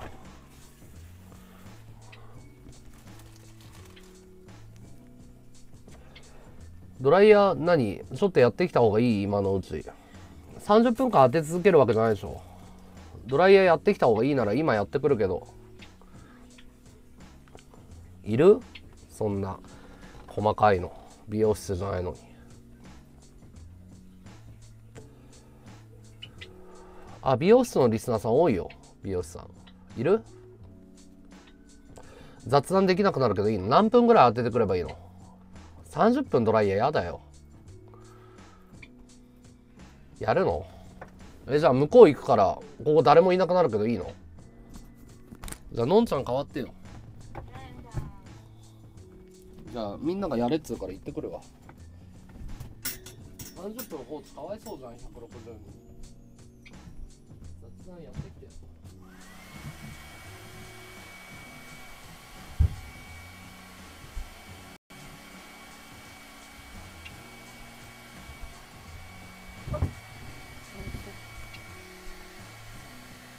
マイクが。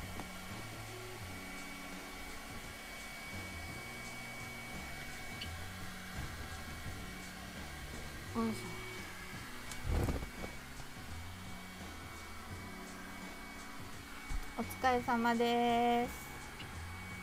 マイクマイク。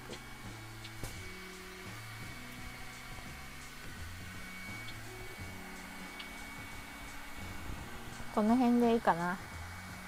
こんばんは。これやばい。髪の毛がすっぴんです。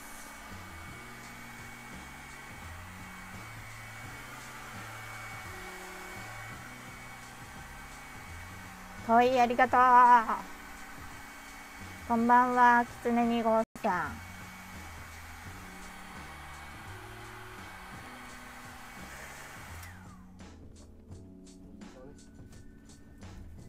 音 OK ありがとヘッドホンつければいいじううんつけた。今日眉毛描いてるから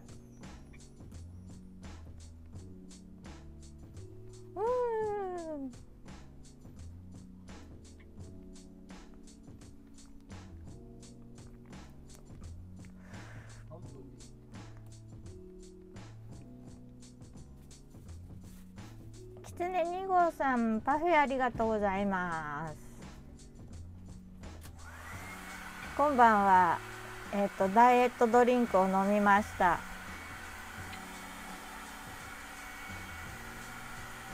もう治りました。ここから手術をしてこれが手術の後。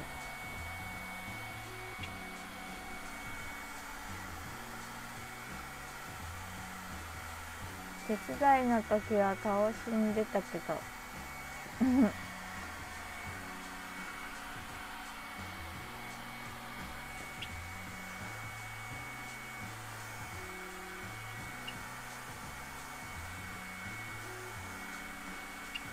ストップしすぎて。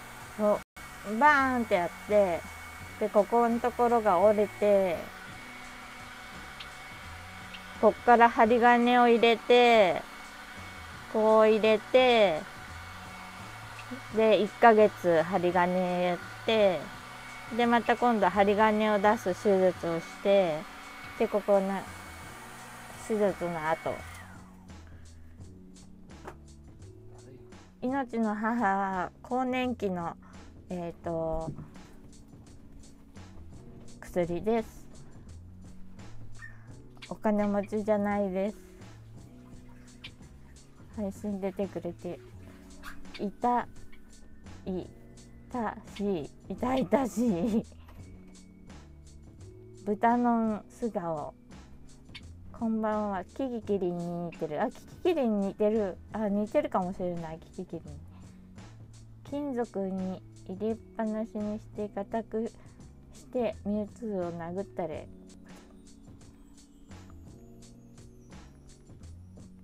今度他の指が全部金属を入れた方がいい。正面かわいい。正面。正面。正面。正面。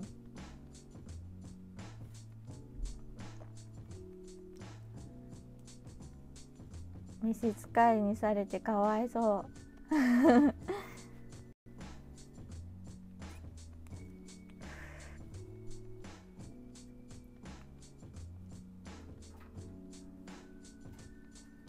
ちゃんはハーフじゃないです。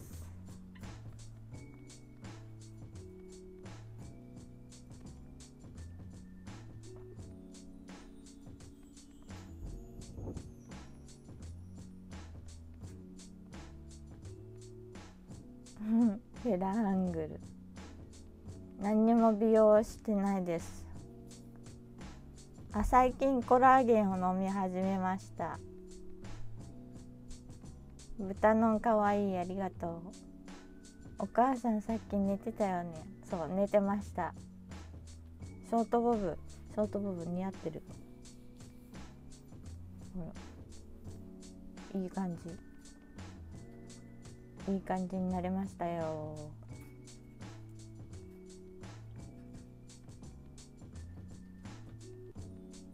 ノンラブちゃん元気かな？ちょっと今日は配信見てて具合悪そうだったんでノンラブちゃんにもちゃんとコメントを打ってきました。のんちゃん最高ありがとうございます。可愛くなったね。ありがとう。詐欺師の嫁か。詐欺師の嫁です。元詐欺師。で す今は詐欺師じゃないです。のんちゃんと一緒。のんちゃんと一緒に放送してくれる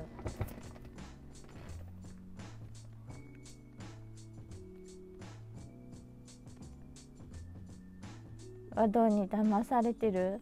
えー、騙されてるかな？騙されてないですよ。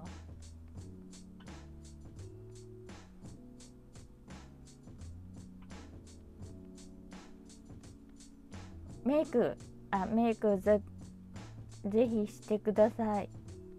和道さんは大好きです。和道さんは今、えーと、ドライヤーをして鏡を見ているとこだと思います。のんちゃんは美大に行って何になりたかった？普通に絵描きになり絵描き絵描きだからうんなんだろう。今も絵描きです。赤くするの？髪の毛を染めるのは本人の自由なので、まあ、赤くなってもいいと思います。大丈夫です。のんちゃんも自分でそうこれは自分で染めました。ちょっともうこの辺が黒くなっちゃった。おばあちゃん頑張れ。ありがとう。おにぎり持って放浪して絵を描いたらいい。おにぎりが欲しいんだな。部長さん。部長さん？部長さんはえっ、ー、とえっ、ー、と部長さん元気？部長さんはうなちゃんマンのとこです。絵は売らないですね。何歳ですか？えっ、ー、と今47歳です X ビデオで抜いてるのか。自宅の犬が寂しがってる。あそうそう寂しがってるんですけどね。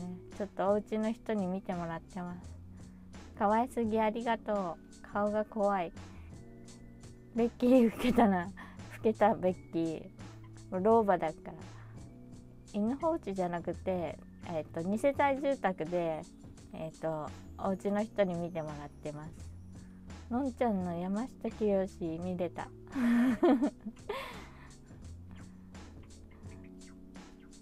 卵味噌の唐揚げの歌は好きです。X ビデオ好きなんですか？キツネ129号さん。白髪染めあ白髪染めはしてないです。どうして太ったんだろう？和道さんに食べさせすぎられて太っちゃいましたそううなちゃんマンにブロックされてて今うなちゃんマン見れないんです。うなちゃんマン見れるようにしてください。お願いします。豚の素敵 犬飼う資格。ちゃんと見てもらってるんで大丈夫ですよ。ワンちゃんは。エロタリストロタリストも見てんのか。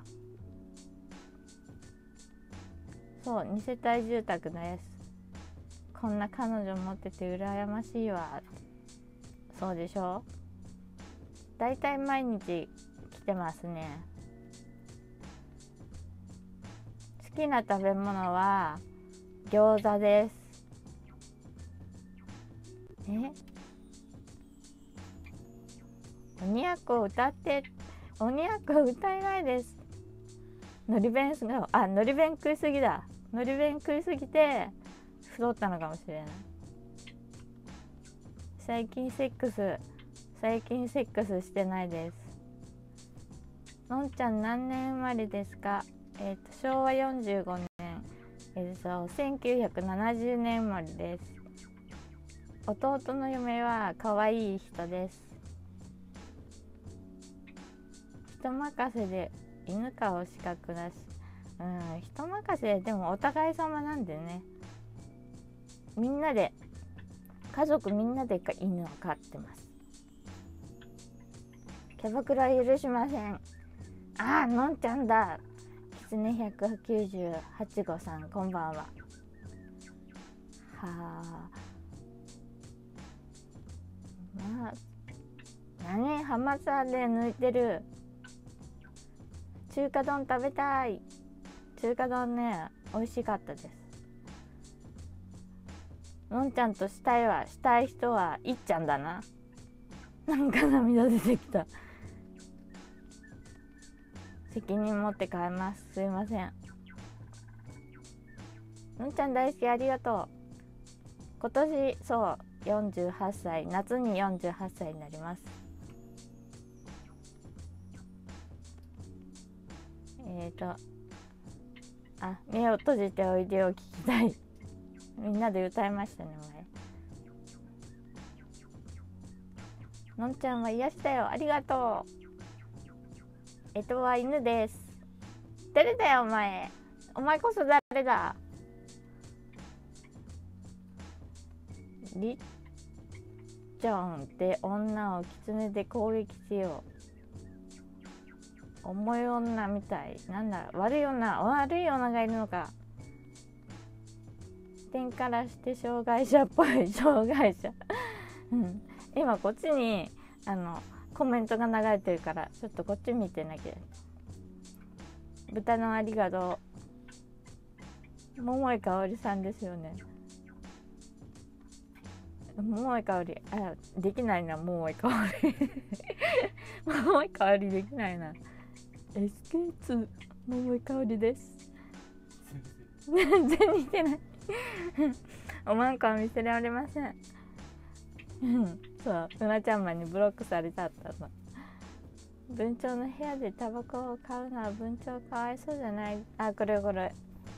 これでちょっと矢にブロックしてます。キキキリンさん。キキキリンさん。キキキリンかもしれない。のんちゃんの妄想してしまったわ。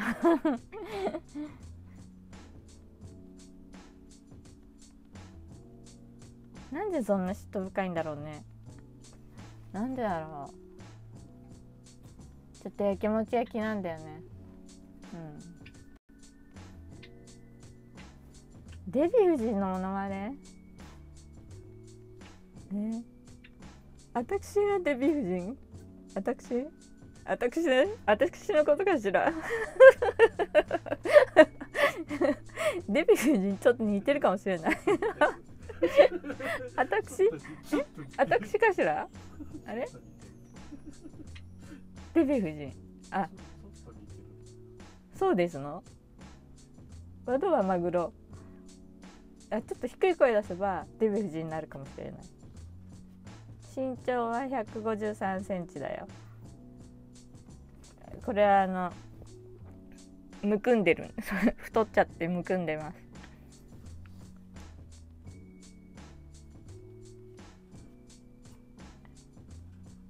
叶姉妹できないな。ミカさん。ちょっとわかんない。叶姉妹。あきつね28号さん。うんこいってらっしゃい。そうだね。文鳥さんもあのできるだけタバコ吸わないようにこれあの矢にブロックするようにしたんでこれでちょっとここの布にヤニがつくようになりました。芦田愛菜芦田愛菜できないな。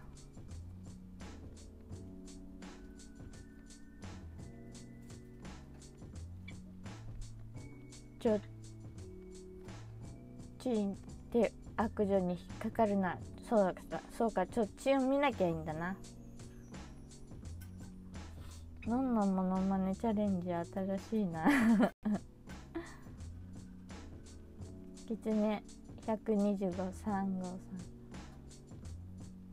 天然石の？ん？なんだろう。天然石。何座何型？蟹座の A 型です。9割の時間をかけてると言って。ああ早くてどんどんどんどんババアのんちゃんの方が断然美しい。ありがとう。マシナああそうか。じゃあまだ面白そうなのだけ拾うそうか。あ独身だったらアタックしてくれてたんだ。キツネ90号さんありがとうあ空気清浄機欲しいです。誰か買ってください。あ肌綺麗かな。肌汚いね。ちょっとねこの辺とか。ヘルヘルプスじゃねえや。えっ、ー、となんだっけ。帯状疱疹の後でこの辺が。もうドロってる。ドロってる。この辺が。この辺が赤くなっちゃって。でも結構1年ぐらいしたらだいぶ良くなった。ね俺と住んでからよくなった、うん。和道さんのモノマネも難しいな。和道さんが浮気したらチンコ切ります。今おじいちゃんにおじいちゃまにご飯食べさせちゃう。スキンケアなんだろう。リプロスキンっていうなんかなんだろうな。ニキビ跡を治すなんか通販の化粧品化粧水を使ってます。リプロスキンって言います。それだけしか使ってないです。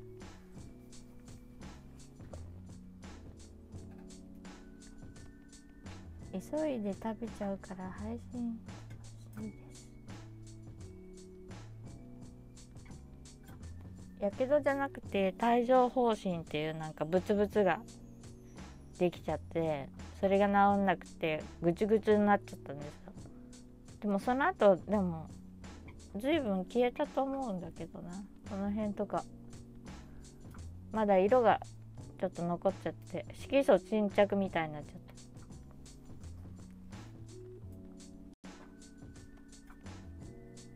た。あ大腸の検査した方がいいんだ。あ大腸の検査しよう。あ窓浮気してるって。浮気してんの？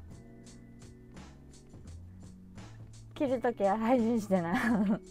チンコ切り配信してる。浮気してるからカットしようだって。あもうカットする準備しよう。わワドはどれとホモえどれさんとホモなの？ちょっとなんか怪しいと思ってた。えうろはこさんとも浮気してるの？ホモじゃんもう。あホモだ。帯状疱疹はアレルギーじゃなくてなんかストレスとかなんか水疱瘡じゃないけどなんかそういうなんか菌みたいなやつみたい。よくわかんない。何本当は若い女がいいの？ちょっと。夜もピーカブスタイル。どれとスパーリングの後に夜もピーカブなんだって。ちょっと怪しいよ絶対ドレさんできてる。もうお前んちのように電話してるから。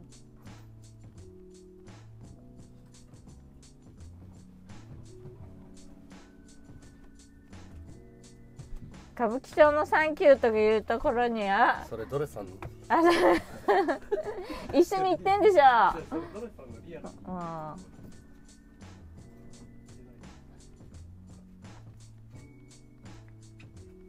子供はねできないんですよ。ちょっと病気しちゃって。俺はルノワールにいるようん。今度おいで。ルノワールにずっといるかうん。浮気してチンコ切って和道のあのなんだっけチンコ焼き作る。あでもシチューでもいい。チンコシチュー。あお風呂嫌い。お風呂めんどくさい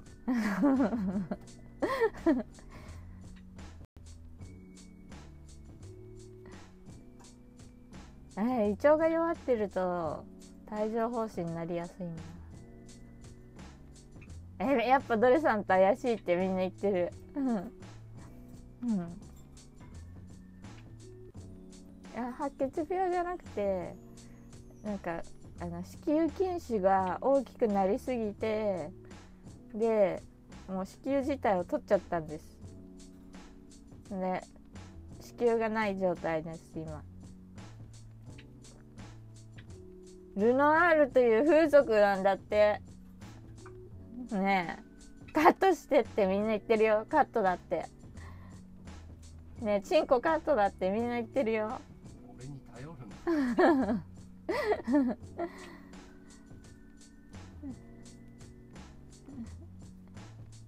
チンコ焼きとか。チンコシチューそうチンコ煮込むの。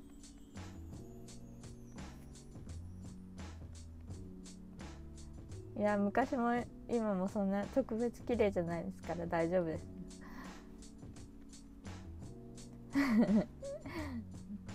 切り落とすよ絶対に。浮気したら。ルナールは有名有名な風俗だってってみんなみんなが言ってる。みんな全員が言ってる。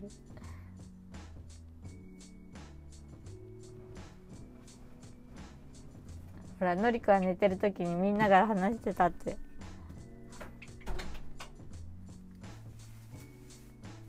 そうじっくりコトコト煮込んであのトロトロになるまでチンコを。あ子宮摘出したら更年期障害早くあそれで更年期障害になったんだきっと。俺今あれ命の母飲んでるから。ランチ妻っていうピンサロにも行ってんの？えランチ妻にも行ってんの？もう。もうこれもうチンコ切り落とさないと。そう子宮摘出したんです。ルノアール。ああお茶飲んでルノアールっていう風俗に行ってんだ。ベソだ 男は浮気するのか。いっちゃんシコシコしてないで。ちょっといっちゃんしこなしこんなしこっちゃダメだよ今。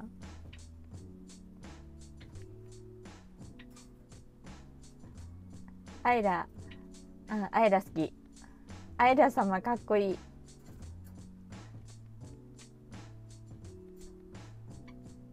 どれのチンコは小さいから煮込んだら出てくる。え？どれのチンコを切ろうなんて言ってないよ。和道さんのチンコを切るって言ってる。煮込むと多分トロトロになると思う。もういいかな。シャワー流しちゃっていいと思う。え？こうやって試してみてあーすごい金髪になってる。もう洗っていいと思う、うん。まだ時間30分経ってないけどいいかじゃあ風呂入るわ。はーい。じゃあ和道さんはなんかちょっと悪口言わないでってみんなが言ってる。悪口しか言ってないみんな。風俗の話ばっかり。ののんちゃんが暴露とかしたらダメだよあそう。聞こえないから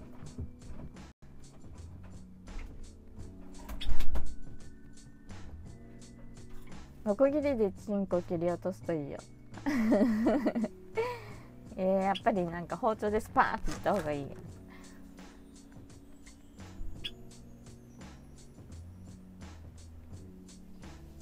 名古屋のキングっていう人はあんまりよくわかんない。ミュウツーとは仲直りししてないです。喋ったことないしあでもミュウツーのなんか館長配信は面白かった。あそうなんだ。更年期障害はちゃんと病院に行った方がいいんだ。今命の母に頼ってるから。うん。アイラ様はねかっこいいやっぱり。イケメン。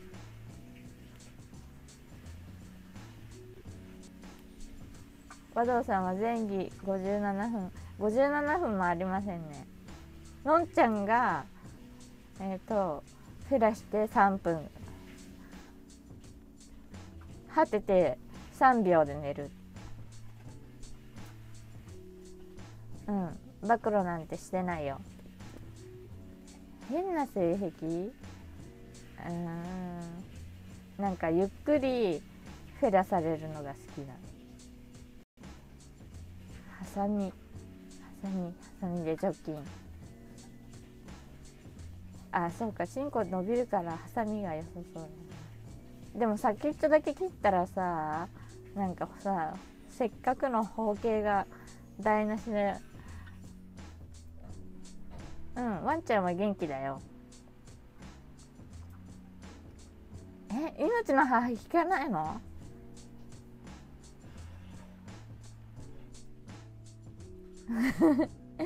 ゆっくりせよフェラ。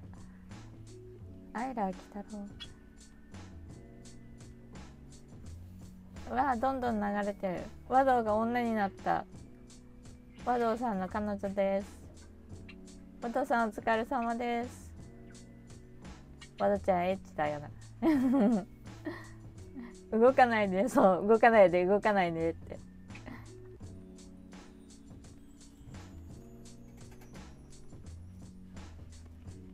あ気筒だけ切り落とせばいいあ気持ちいい部分だけ切り落とせばいいのか。そう早漏だから。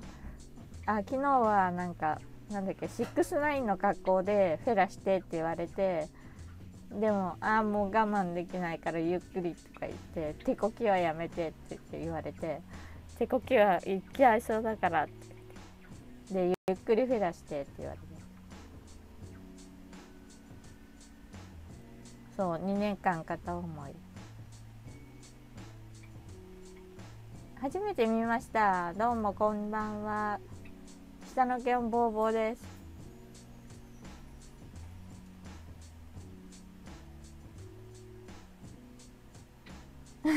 誰得だよ。先ってるかい。イエーイ、うん、メタじゃないです。メタ彼女じゃないです。だからそんな平成系やなくてもいい、うん、ついつい言っちゃう。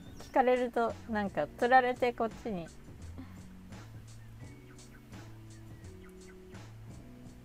こうなんか書いてあるとなんかそのまま喋っちゃいそうになっちゃう。チンコの皮はごこうやって。ワンちゃん元気です。おばあちゃんだよ。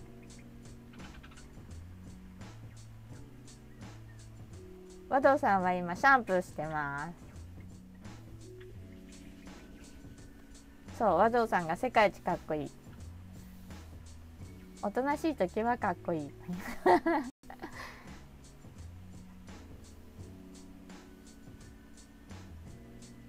攻めたい方ですね。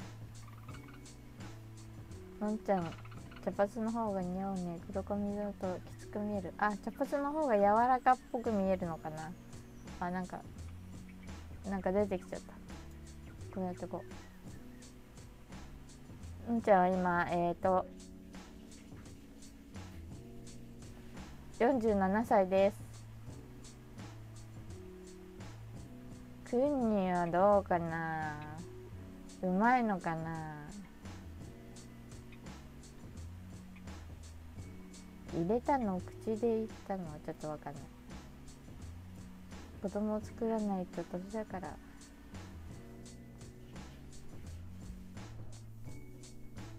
わあどんどん。今日左の目左の目。あちょっと腫れてるかもしれない。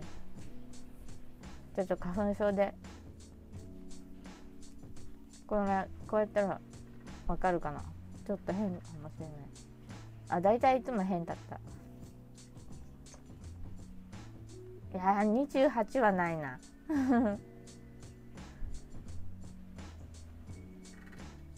うん。パソコンもあ万博生まれそうそうそうなんだっけな大阪万博かな殴られてないよ捨てごろ和道さんとお兄さんどっちを応援する和道さん応援しますくんにしすぎて寄り目になったのあとそんなくんにしてないってお目目ばっちり系ありがとうございます。老けすぎあ老けてる。和道さんの子供も欲しいだろうに。いや子供はあんまり本実のところあんまり子供は好きじゃない、うん、ちょっとあの子供はちょっと疲れちゃう。むーちゃん。和道の運転手になっちゃダメよあそうなん。ですよね ETC がちょっと高いからそこはちょっと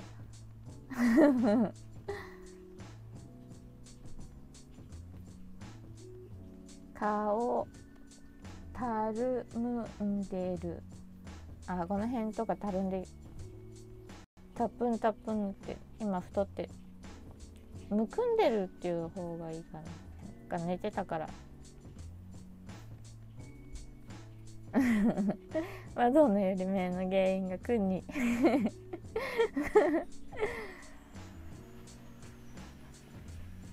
和道さんとは月何回？月何回ぐらいかな？月？何回かな？わかんない。月と、付き合って1年うんちょっとぐらいかな。元カノが子供を産んでいる。あ元カノが子供を産んでるのか。そこの家賃のりこも払わないとダメだろう。えー、払わないとダメかな。あでも結構いるからな。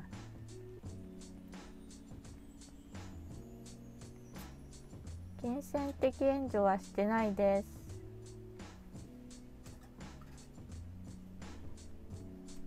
ETC はクレジットカードなくても作れるんだ。えー、そうなんだ。砂かけばばあに若干似てるかもしれない。和道さん好きな女性たくさんいるのにかわいそう。車の駐車代でかなり使ってんだろう。そう。あの駐車場なんだっけ？あのコインパーキングだから結構使っちゃう。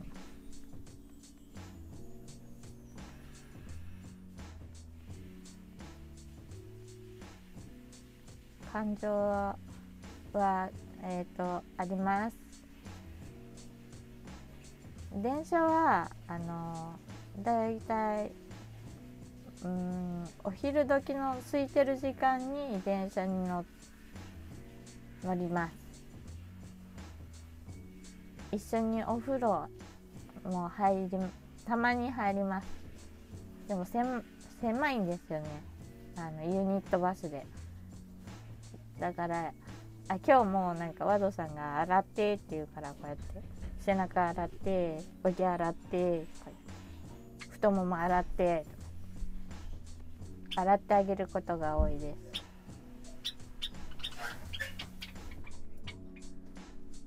のりこは和道の精子飲むか教えろ飲みます。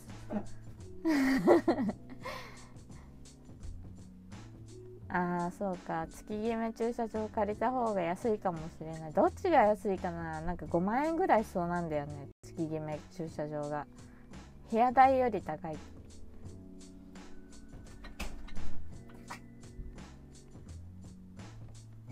浅井さんは元気っぽいですね。肝とか どんな味？なんかその日によって ギャーとか味違わない？なんか苦かったりとか。あとなんかちょっと甘っぽかったりとか。かちょっと塩分多いかなとか。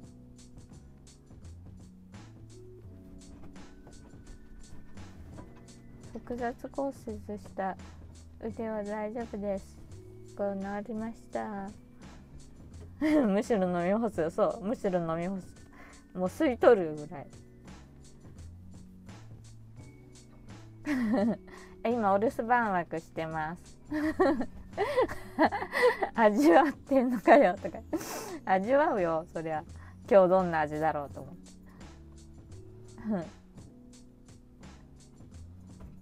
和道さん今あの髪の毛洗って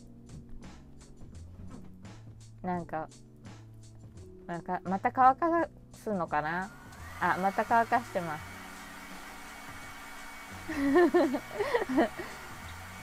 俺のはマシュマロ味？えそんな甘かったらやばいよ。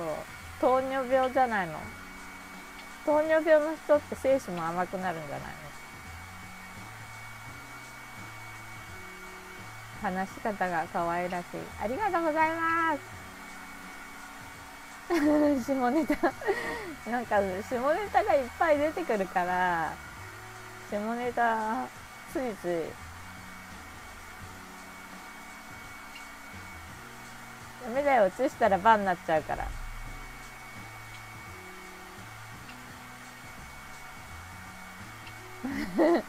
シャワー中にシコシコしてないよ今日は。だいたい佐藤さんがオナニーティッシュをそのままベッドの周りとかにくるくるっぽいってやってやるからあ今日したのかと思ってわかる？うん。いきなり来たら楽なんとかの話。週何回ぐらいわかんないな。わあまたそのティッシュ食べないよ。そのティッシュあでもちょっとこうやってクンクンって。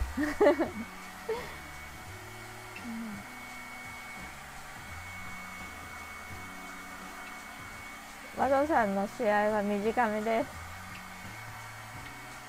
そうちょっとカチカチっていうかパリパリになってるティッシュなんかすごい大きめにこんぐらいの大きさに丸めてあるからすぐわかる。シコシコは見たことないな。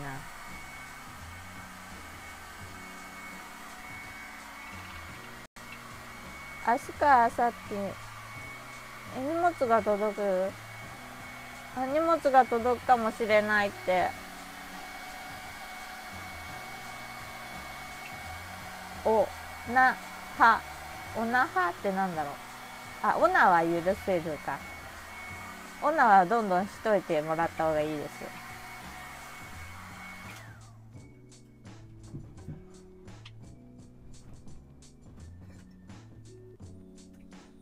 3分しか持たないウルトラマン。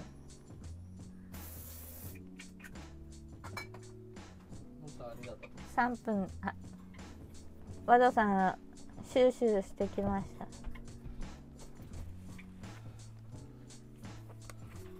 戻ってきた。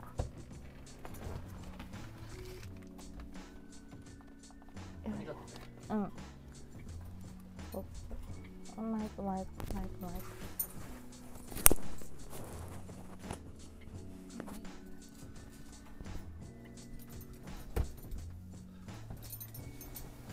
あ結構色落ちこいいでしょ？うん。似合うでしょ？似合う。俺が言うんだから間違いないよ。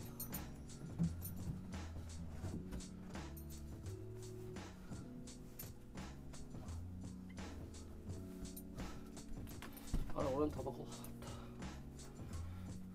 似合うでしょ？かっこいいでしょ？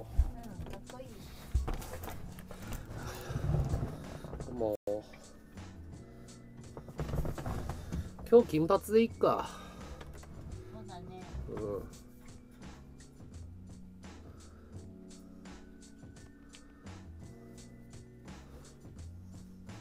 こっちが完全な黒にしたいよね。やるんなら。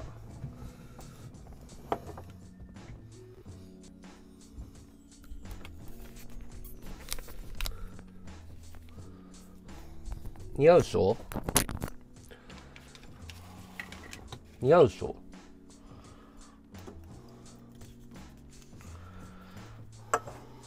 どう？はいワー。ド2今日は赤赤に染めないで。これでいこうか。いや今日金髪でいくわもうだるいわ。こっから先。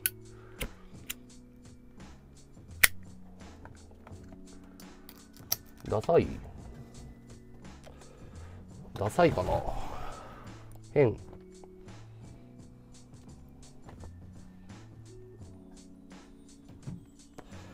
のんちゃんがかわいそうになったえ何があったの？なんでそんなことになってんの？髪はねこの後ホーユーのヘアカラーマニキュアで染める。ホーユーホーユーだね。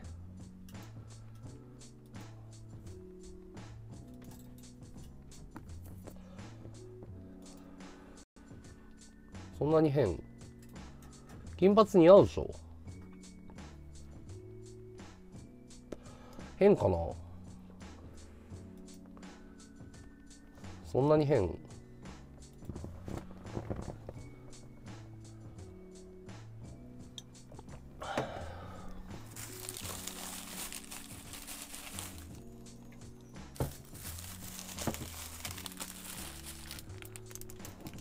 ワンピースのヘルメッポ？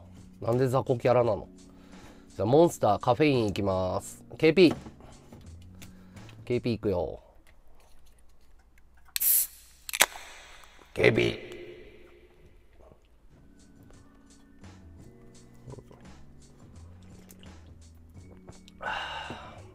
いやのんちゃんもいっぱい喋ったでしょ。もういっぱい喋ったよのんちゃん。な何をクレームこんなにクレームが来てんの。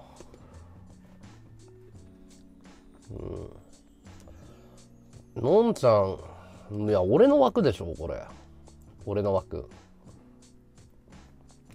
俺の枠だよ。砂糖多いねモンスターは。何？のりこそんなに好評だったの？のんちゃんそんなに好評なの？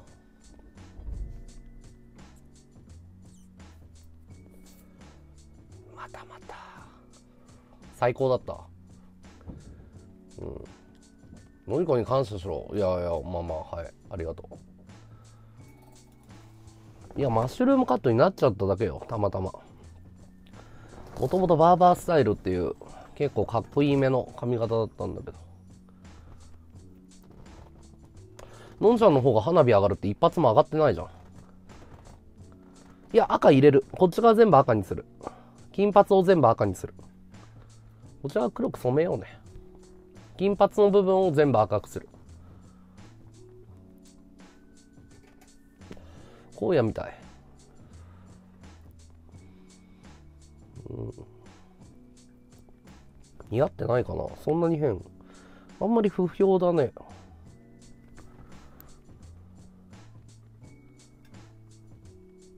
俺自分で切ったよ。俺が切った。今色抜いた段階ってこと？そうそうそう。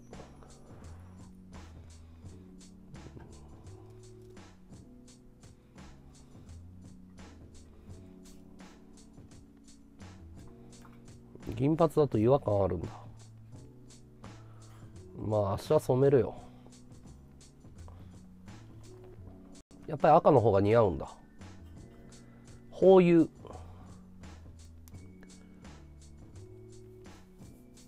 こ行っちゃったかなこういう向こうにあるでしょあのご飯のところ。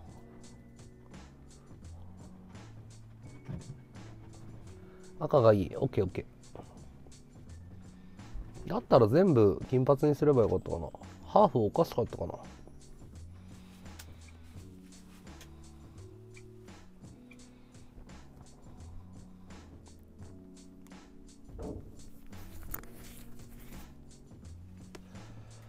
赤とシルバーいいね。赤とシルバーいいね。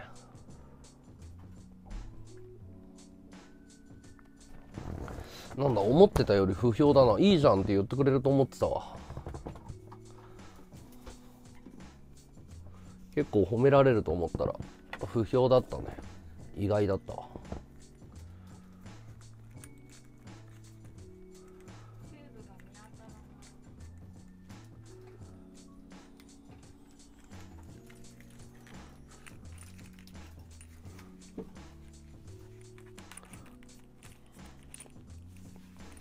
赤かやっぱり。まあ赤くするよ。今日はこれでいく。時間がもったいないから。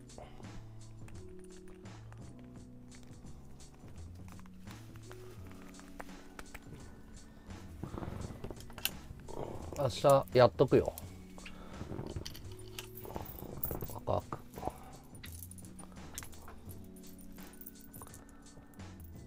センスずれてるかな？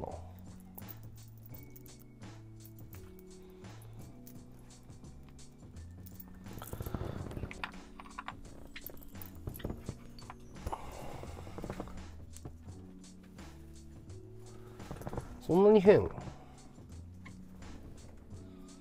結構気に入ってんだけど。はい若津いらっしゃい。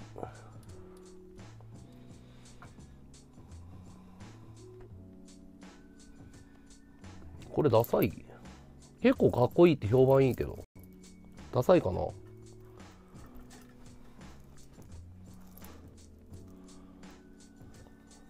そんなにダサいか？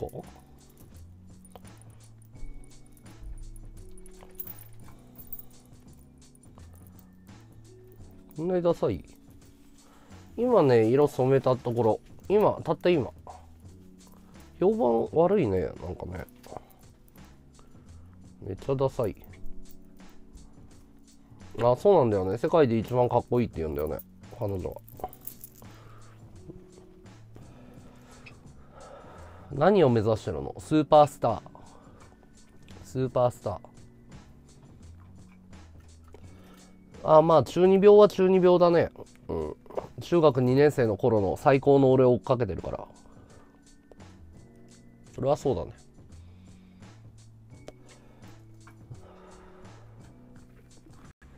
まあでも、まあかっこよくなってきたかな。だんだん。中2の頃なりたかった俺には慣れてきてる。風船ありがとう。245号さん風船ありがとう。いや田舎の売れないバンドドラマーだったからね実際。実際そうだったから。ありがとう花火244号さん。花火ありがとう。ありがとうございます。ありがとうね。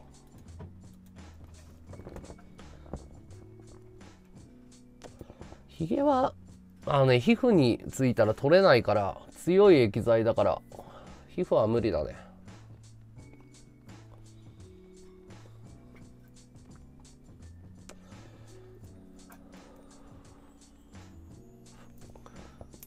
オレオレ詐欺はしてないよ。詐欺で捕まったのは本当だけど。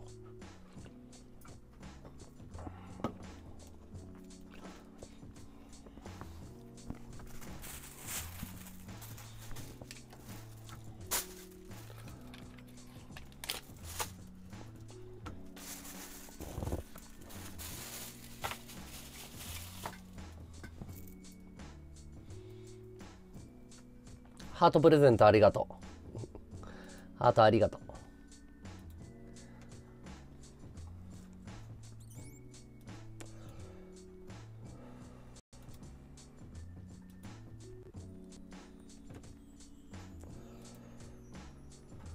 金髪より赤の方が似合う。あじゃあ赤くしとくよ。ただこっち側黒くしないともったいないよね。ここ。赤が入っちゃってるから。それがもったいない。はいワードツいや捕まったって言ってんじゃんうんめんどくさいなもう5年も前の話ずっと掘り下げられて。なんかイメージダウン狙ってるのか何なのか知らないけどさ別にもうイメージなんかもうこれ以上下がりようがないさ。あの俺のことフォローしてくれてる人は過去のことも含めてフォローしてくれてるから。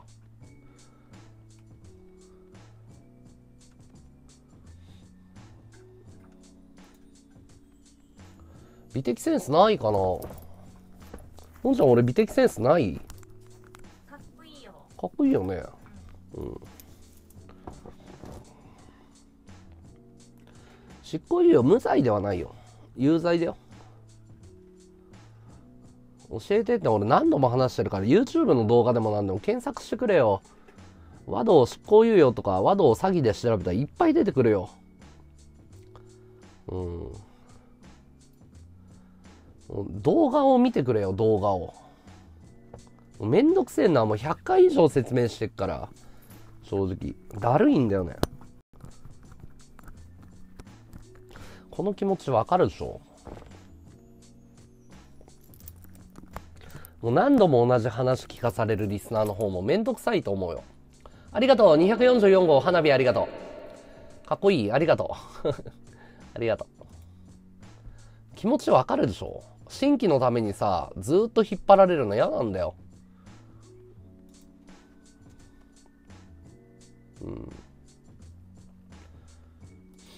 めんどくさいわ。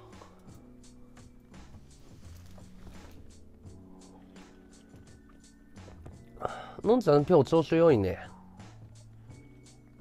もうめんどくさいよね。ファンにならないんだったら見なきゃいいじゃん。うん、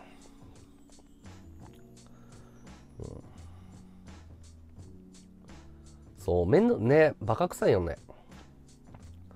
俺の、俺、おばあさんの気持ちはおばあさんに聞きに行きなよ。俺に聞かれたってわかんないよ、おばあさんのことは。ハートプレゼントありがとう。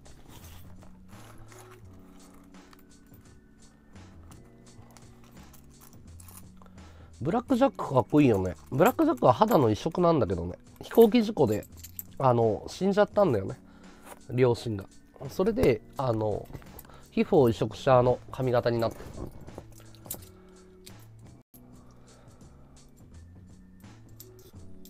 いや、クズだよ。クズはクズだけど、うん、なんか、俺のことを知らない人にとやかく言われたくないよね。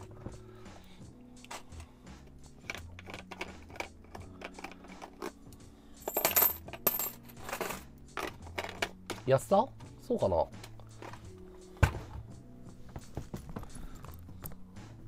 主犯で捕まってないよ。だから主犯で大本営で大本営ってわかる？要は警察がリークしてマスコミに主犯逮捕ってやったんだけど警察が恥かいたんだよ。主犯でも何でもなかったんだよ。主犯だったら執行猶予なんかつかないじゃん。警察がリークしちゃうね。そう。だから記事には主犯って書かれてるけど裁判で蓋開けたら主犯でも何でもなかったって話よ。共犯共謀罪。共共謀だね。共謀。主犯は捕まってないでしょ。いまだに。何年前の事件？6年前の事件だけど主犯捕まってないと思うよ。鉄腕アートも知らない？なんであんな髪型なんだろう。そう。犯罪歴をルフするのは訴えられる案件なんだよ。で俺がやめてくれっつってんだからさあの俺の犯罪歴さらすのってあれなんだよ。犯罪なんだよ。本当に迷惑だよ。時効成立じゃない。もうだって有罪になってるんだから時効もクソもないでしょ。時効っていうのは刑事事件として立件できなくなることを時効っていうから。動画作ってね、紹介のところに貼っておけばっていうか、うん、それでも見ないからね。いや、ただ俺の評判落としたいだけなんだと思うよ。いや、匿名でも訴えた方がいいよね、これ。本当にそう思う。いいんじゃん。金に困ったら一件一件訴えていって、ね、一件10万とか20万とか取っていけば食っていけるから。うんはいはい、こんばんは。251号さんいらっしゃい。シルバーも好きだよ、髪の毛の色。銀髪ね。今、テルが銀髪じゃなかったっけ？評判は悪いけど、なんつうんだろう。うん、よくわかんないかな。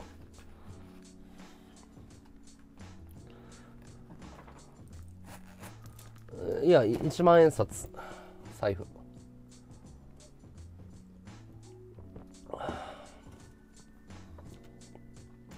罪を償うってだって俺刑事事件でさもう執行猶予の満期が過ぎたんだから罪償ったじゃん。それ以外に罪償う方法ってあるの？あなたたちがやってんの罪を償った男を叩き続けてんだよ。それ犯罪だからね飯食ったよ。枠の初めに食ったよ。髪型変えたわけじゃないけどね。金髪に今染めただけ。この後赤く染めようと思ったけど、だるいから明日にする。それ昨日も話したから、昨日のタイムシフト見て。ねえ、だるいね。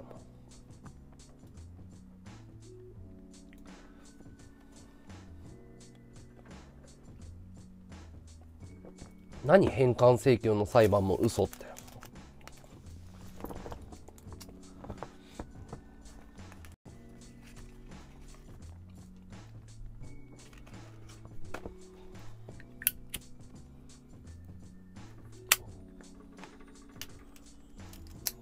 刑期関係ないって言うんだったらあの日本の法律に不備があると思うのは政治家になって法律変えなよ。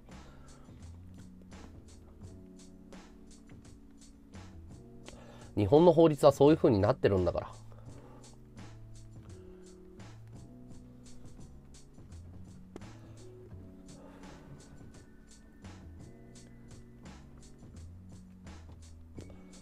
じゃあ、トツかけてくれば。じゃあさ、もう、これ最後にするけど、コラボトツマチやる？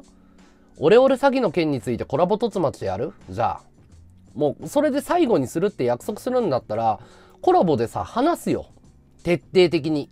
2時間でも3時間でも。やる？じゃあ。その代わりお前ら上がってこいよ。その代わりお前ら上がってこいよ。で、その、それで終わりね、みそぎは。それで OK。やる？次枠やる？オレオレ詐欺について何でも答える。その代わり、その動画をもう今後、その動画で終わりっていうことに。OK。